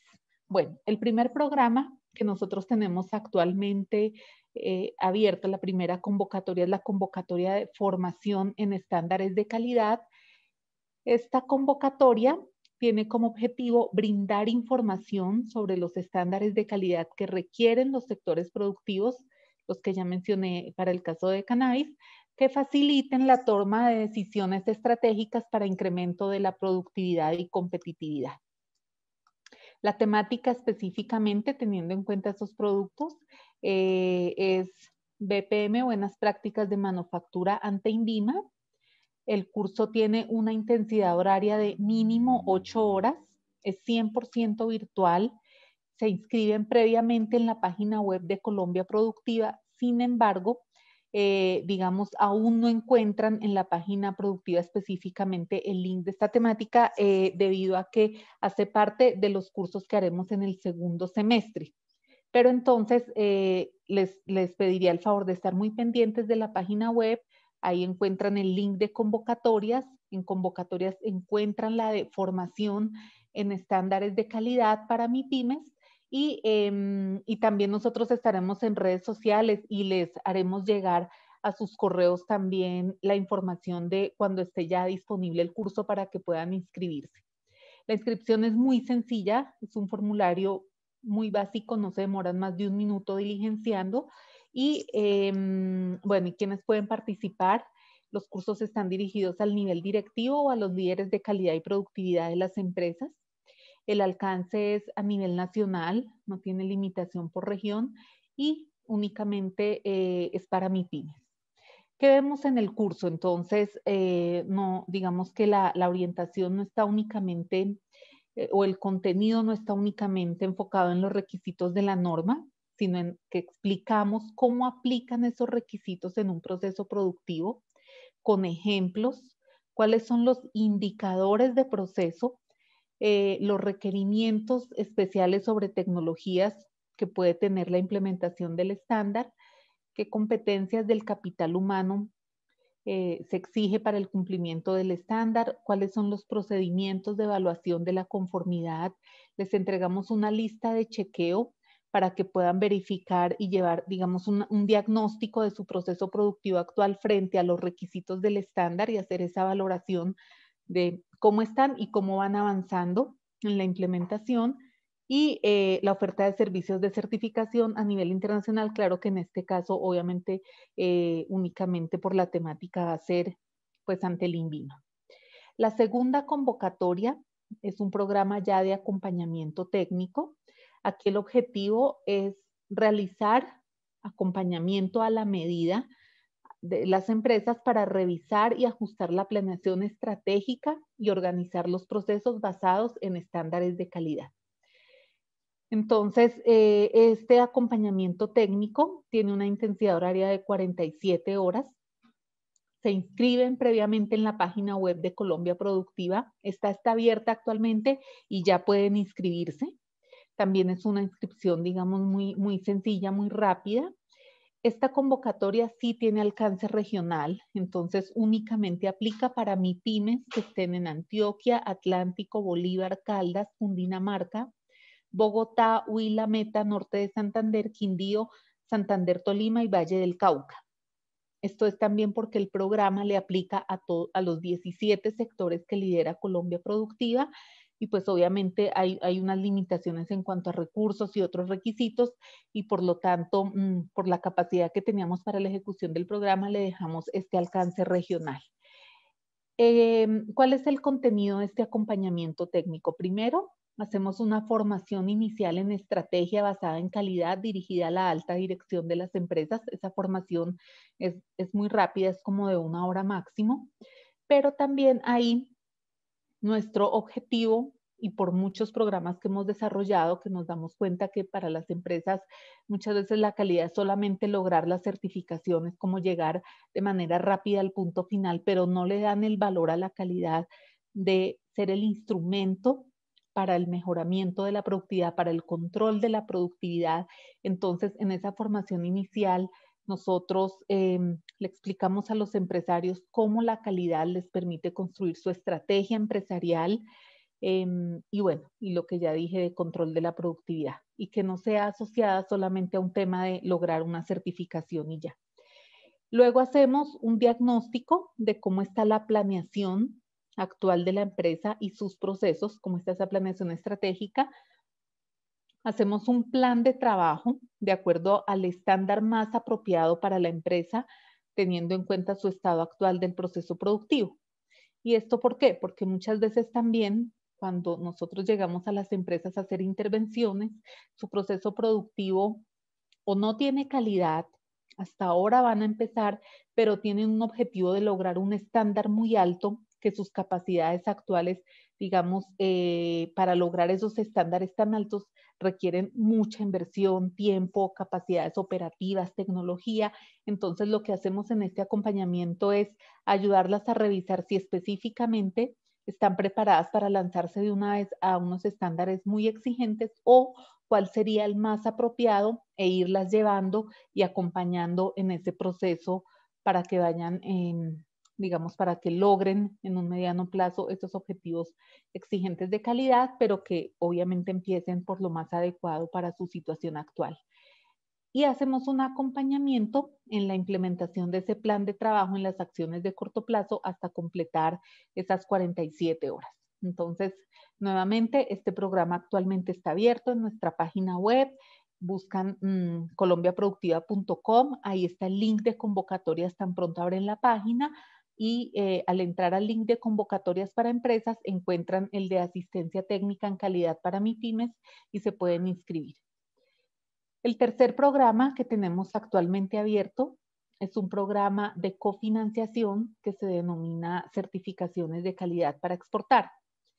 Con este programa, entonces, el objetivo es adjudicar recursos de cofinanciación no reembolsables a propuestas cuya finalidad sea adelantar procesos de certificación de calidad de procesos o productos requeridos para acceso o ampliación de mercados internacionales. ¿Qué cofinanciamos? Con los recursos que otorgamos, una vez las empresas nos presentan un proyecto, pueden em, contratar consultoría técnica relacionada con el estándar que van a certificar, en el que se van a certificar, pueden contratar formación relacionada con el estándar y si lo requieren para el cumplimiento y para lograr la certificación, em, el pago de ensayos de laboratorio. Igualmente, con los recursos que les otorgamos, pueden contratar los servicios del organismo certificador. ¿Qué no cofinanciamos? Estudios de mercado, actividades de promoción, ferias y eventos, estudios de aprobación de crédito, estudios sectoriales, pagos de bases de datos, eh, investigación básica, pura o fundamental, servicios públicos, adquisición de materia prima, maquinaria y equipo. Eh, siempre que presentamos la convocatoria, pues nos preguntan y nos dicen que obviamente estos aspectos como adquirir materia prima o la maquinaria, el equipo, la infraestructura son tal vez de los más costosos en la implementación de un estándar eh, y sabemos que tal vez los van a requerir en el proyecto, pero estos ya irían a cargo de recursos de la empresa. Con los de cofinanciación no cubrimos estos aspectos para que lo tengan en cuenta. Tampoco cofinanciamos gastos de transporte y viáticos mm, o misiones exploratorias comerciales. Únicamente lo que tiene que ver con conocimiento, es decir, que puedan contratar consultores, expertos que necesiten para ese acompañamiento técnico en la adecuación de procesos, formación y pruebas de laboratorio. ¿Quiénes pueden ser proponentes? Pueden ser personas jurídicas colombianas con mínimo dos años de existencia a la fecha de presentación de la propuesta. Deben contar con un sistema contable debidamente auditado por un contador o revisor fiscal. Deben tener capacidad financiera para ejecutar la propuesta, la cual se medirá teniendo en cuenta indicadores de capital de trabajo y nivel de endeudamiento, en los términos de referencia de la convocatoria, que la encuentran también en nuestra página web, eh, especificamos cómo se medirán esos indicadores financieros. Deben ser empresas que adelanten operaciones acorde con el objeto de la convocatoria y la propuesta. Es decir, no puede ser un tercero a nombre de la empresa, no puede ser un gremio a nombre de la empresa, no puede ser un, un consultor, sino que quien se presenta a la convocatoria es la empresa que desarrolla el producto y que va a lograr la certificación. Deben orientar el objeto de la propuesta a procesos de certificación de procesos o productos requeridos para acceso a mercados internacionales o para ampliar los mercados internacionales si son empresas que ya están exportando. Este punto es muy importante porque eh, es uno de los puntos que va a permitir que sean seleccionadas o no eh, en la convocatoria. Muchas veces recibimos propuestas que sí, tienen unos objetos muy ambiciosos, mejorar la productividad, competitividad, todo lo que sabemos que se deriva de la calidad, pero al final acá lo que queremos ver en el objeto es que la empresa va a lograr una certificación de calidad. Y deben cumplir con toda la documentación requerida en la convocatoria que esa, eh, esa documentación está especificada en los términos de referencia y es la documentación legal y financiera típica, digamos, que se pide en este tipo de programas a las empresas, tener su cámara de comercio actualizada, el RUT, los parafiscales, em, que nos envíen la cédula del representante legal, los estados financieros, la cédula em, y copia de la tarjeta profesional del contador o revisor fiscal según les aplique. Esa es la documentación que nosotros pedimos. Deben tener avanzado su proceso de alistamiento para lograr la certificación de calidad y que con las acciones faltantes eh, y que las acciones que les falten para lograr esa certificación las puedan desarrollar con este proyecto, con los recursos que les damos, con los rubros que cofinanciamos y en el tiempo que tenemos para la ejecución de los proyectos, que ya, ya voy a contarles de esos aspectos. Esto es importante y este, digamos que a diferencia del programa de formación, que es para empresas que hasta ahora están empezando el camino de la calidad, o el de acompañamiento técnico, que es cuando empiezan, digamos, ya la implementación y la adecuación, este programa es para empresas que ya están muy avanzadas, que normalmente ya tienen calidad en, su, en sus procesos, ya la calidad hace parte de su ADN empresarial, seguramente muchas ya están certificadas y con el proyecto eh, o logran la certificación en poco tiempo o amplían los alcances eh, igualmente, digamos, con, los, con las actividades que ejecutan en el mismo. Pero sí es importante que tengan ya avanzado ese proceso porque si son seleccionadas en la convocatoria, firmamos un contrato de cofinanciación y en caso de que no logren los objetivos propuestos en ese tiempo y con los recursos, deben reintegrarnos el dinero. Entonces, para evitar como todos esos problemas contractuales, etcétera, es muy importante que tengan claro que esta convocatoria aplica ya para empresas que están avanzadas en su proceso de alistamiento. No deben encontrarse en proceso de liquidación y deben pertenecer a los sectores que lidera Colombia Productiva, que fueron los que comenté al inicio.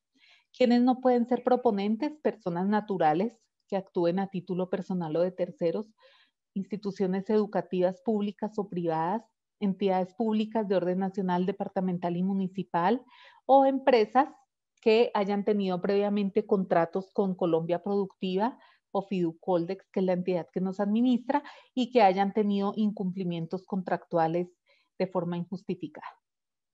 ¿Cómo funciona la convocatoria? Entonces, eh, el modelo de operación de la misma es a través de una ventanilla abierta para recibir las propuestas desde que se abre la convocatoria hasta que se cierra. La convocatoria abrió el pasado 28 de abril y cierra el 28 de junio.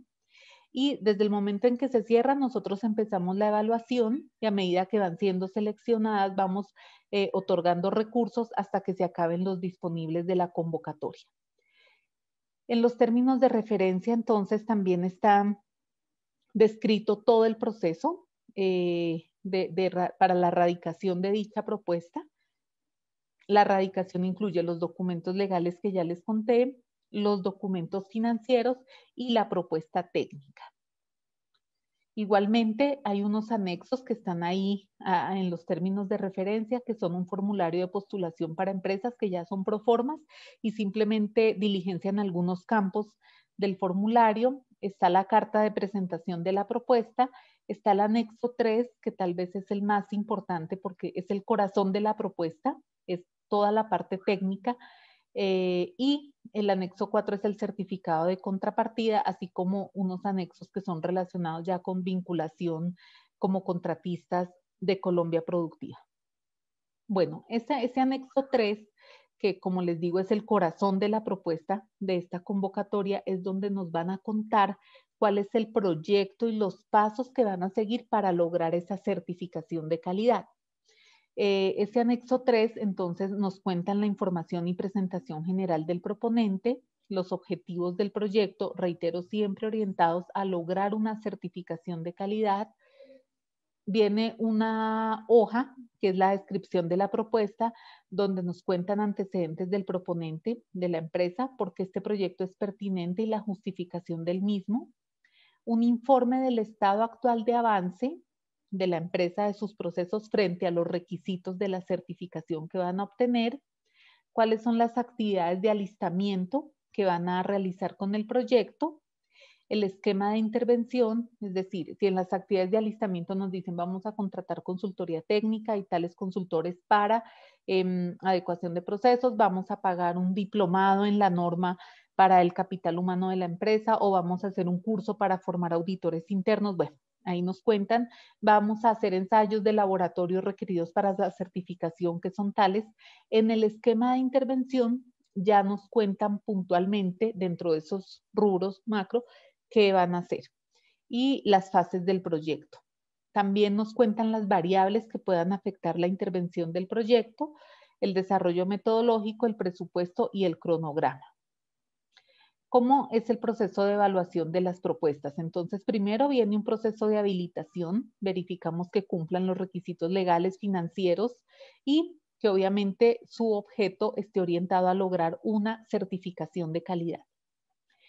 Una vez, digamos, ya son habilitadas, pasaron este primer filtro, viene una evaluación de viabilidad, que ya son las que selecciona las que van a recibir los recursos. Esa viabilidad eh, es definida por un comité técnico que está conformado por el Instituto Nacional de Metrología, el Organismo Nacional de Acreditación, el ONAC, el ICONTEC, eh, la Dirección de Regulación del Ministerio de Comercio y Colombia Productiva, donde asignamos unos puntajes de acuerdo a esta información del anexo 3 esos puntajes según lo que esté definido en los términos de referencia. Para esta convocatoria tenemos un total de 4.351 millones este año. Mm, la cofinanciación será hasta un máximo del 70% del presupuesto total del proyecto, sin que en ningún caso la cofinanciación solicitada por la empresa supere 130 millones de pesos. Les damos máximo 130 millones si el proyecto y el 70% cuesta más de 130, ya lo cubre la empresa con sus recursos. Pero tampoco quiere decir que tengan que pedir únicamente 130 millones porque hay empresas que obviamente su necesidad es, menor. Entonces, em, hemos tenido propuestas de 40 millones, de 60, de 80 eh, y 130 es lo máximo.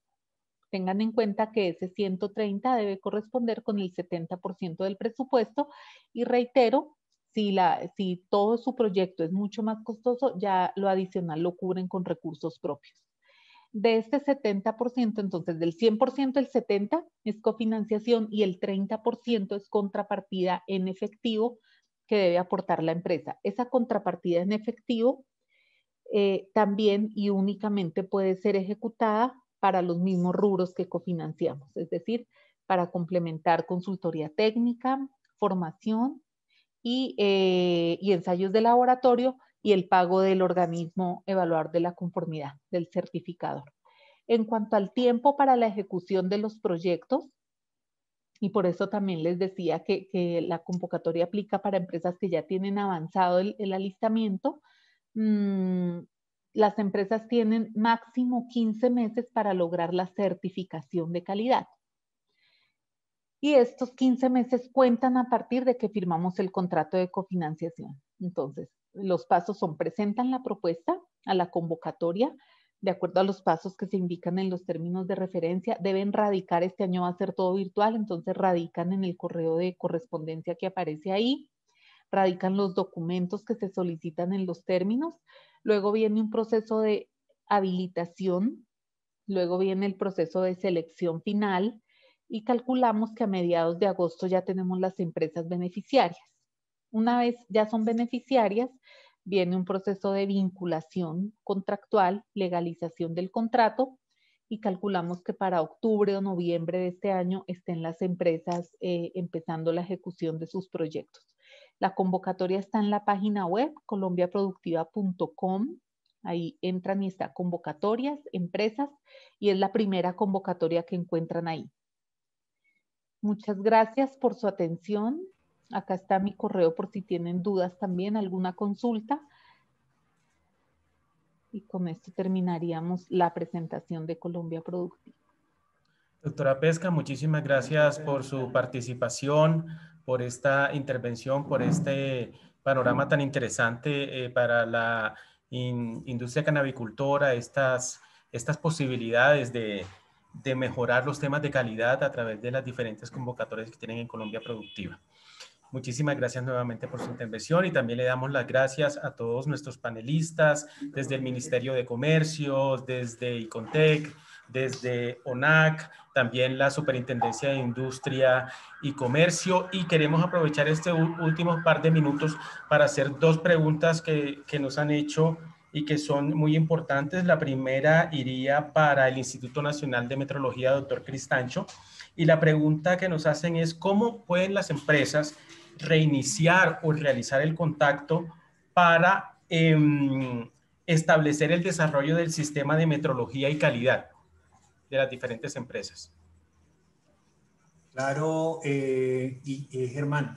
Germán, de todas maneras, por favor, dejemos espacio para que si alguno de los representantes de los gremios, veo que el doctor Arcila prendió la cámara y si tiene alguna pregunta, por favor, que, que nos la haga, que yo creo que todavía hay algunas personas de la infraestructura de la calidad que nos acompañan.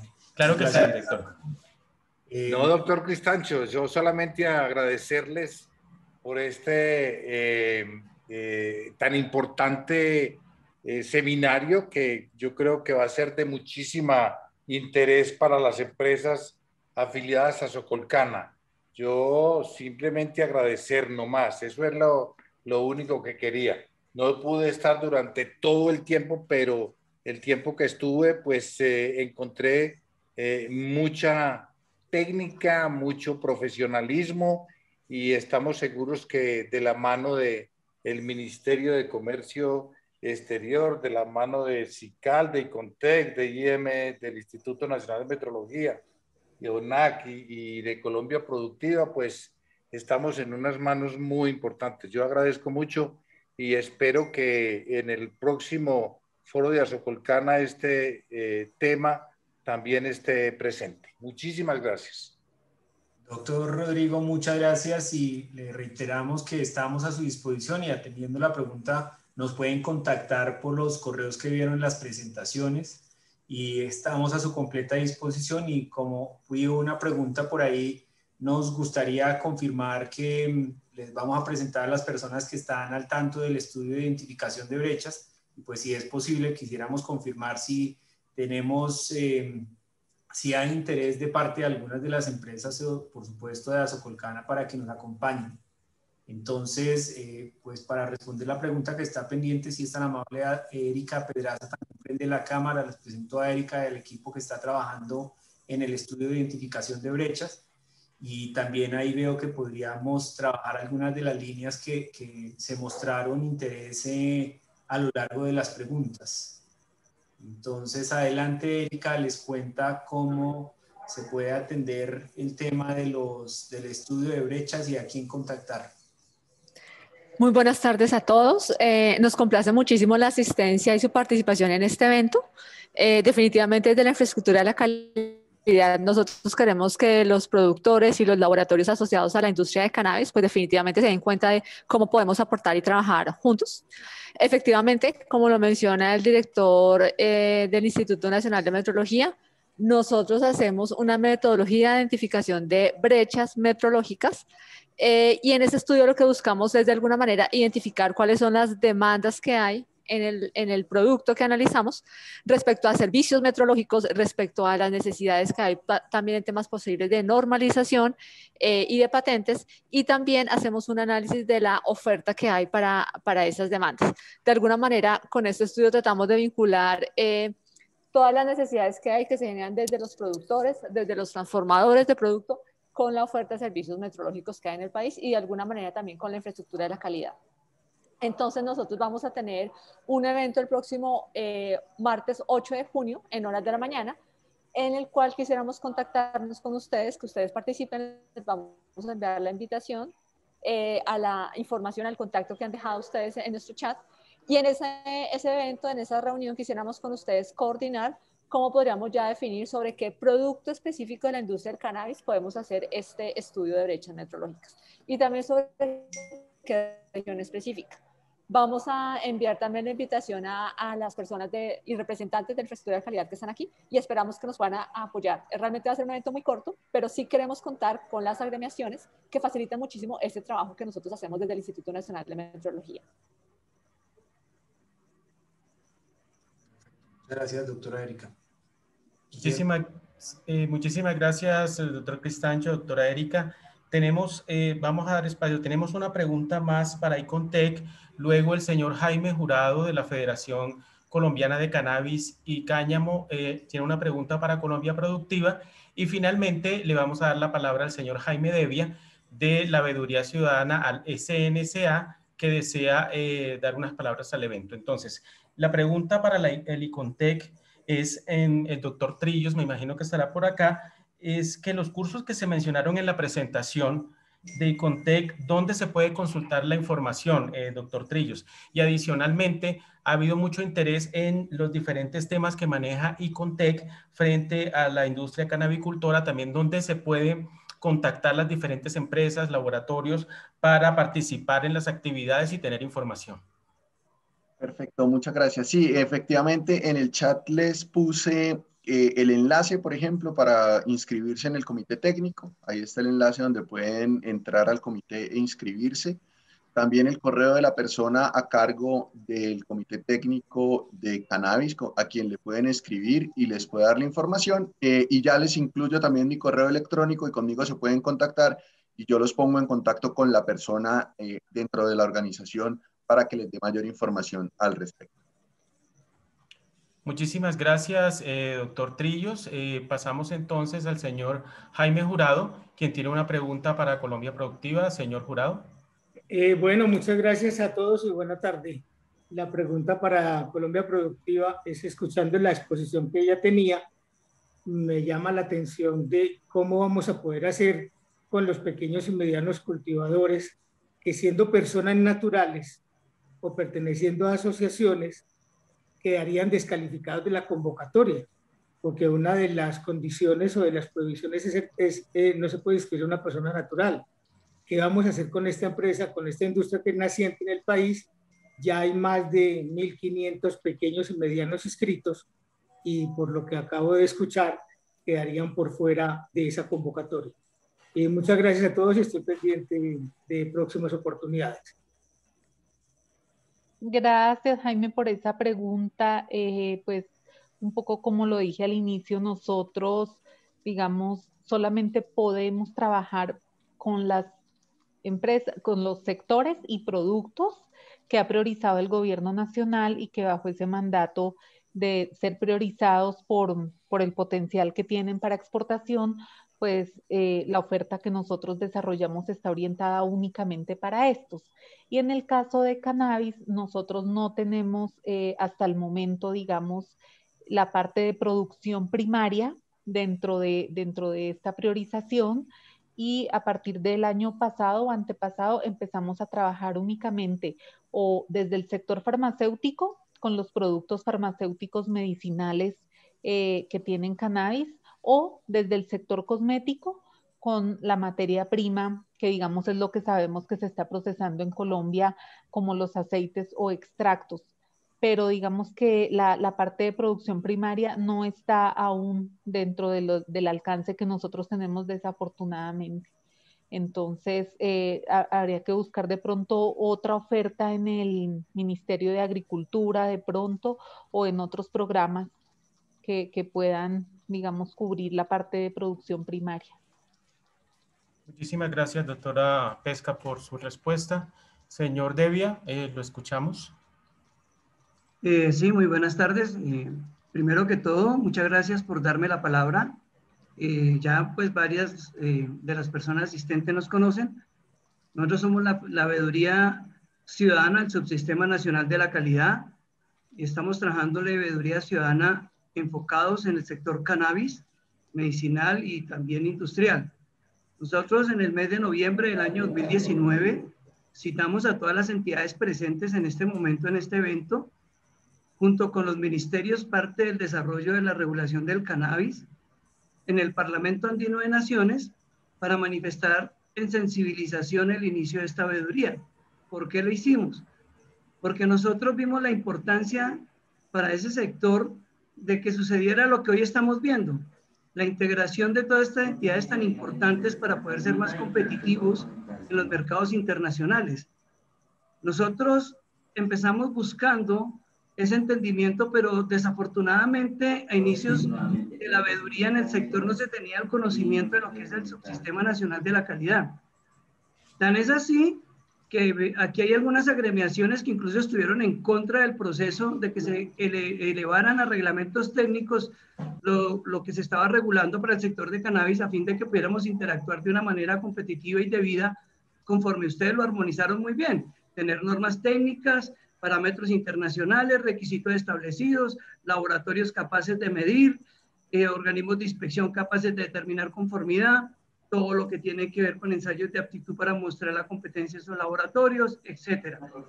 Y pues obviamente, muy importante haber escuchado al Organismo Nacional de Acreditación involucrado en el proceso, porque pues hemos tenido también pues bastante, eh, mala comunicación, digámoslo, porque de pronto inicialmente pensaban que teníamos un propósito de hostigamiento y creo que hasta el momento no lo hemos hecho.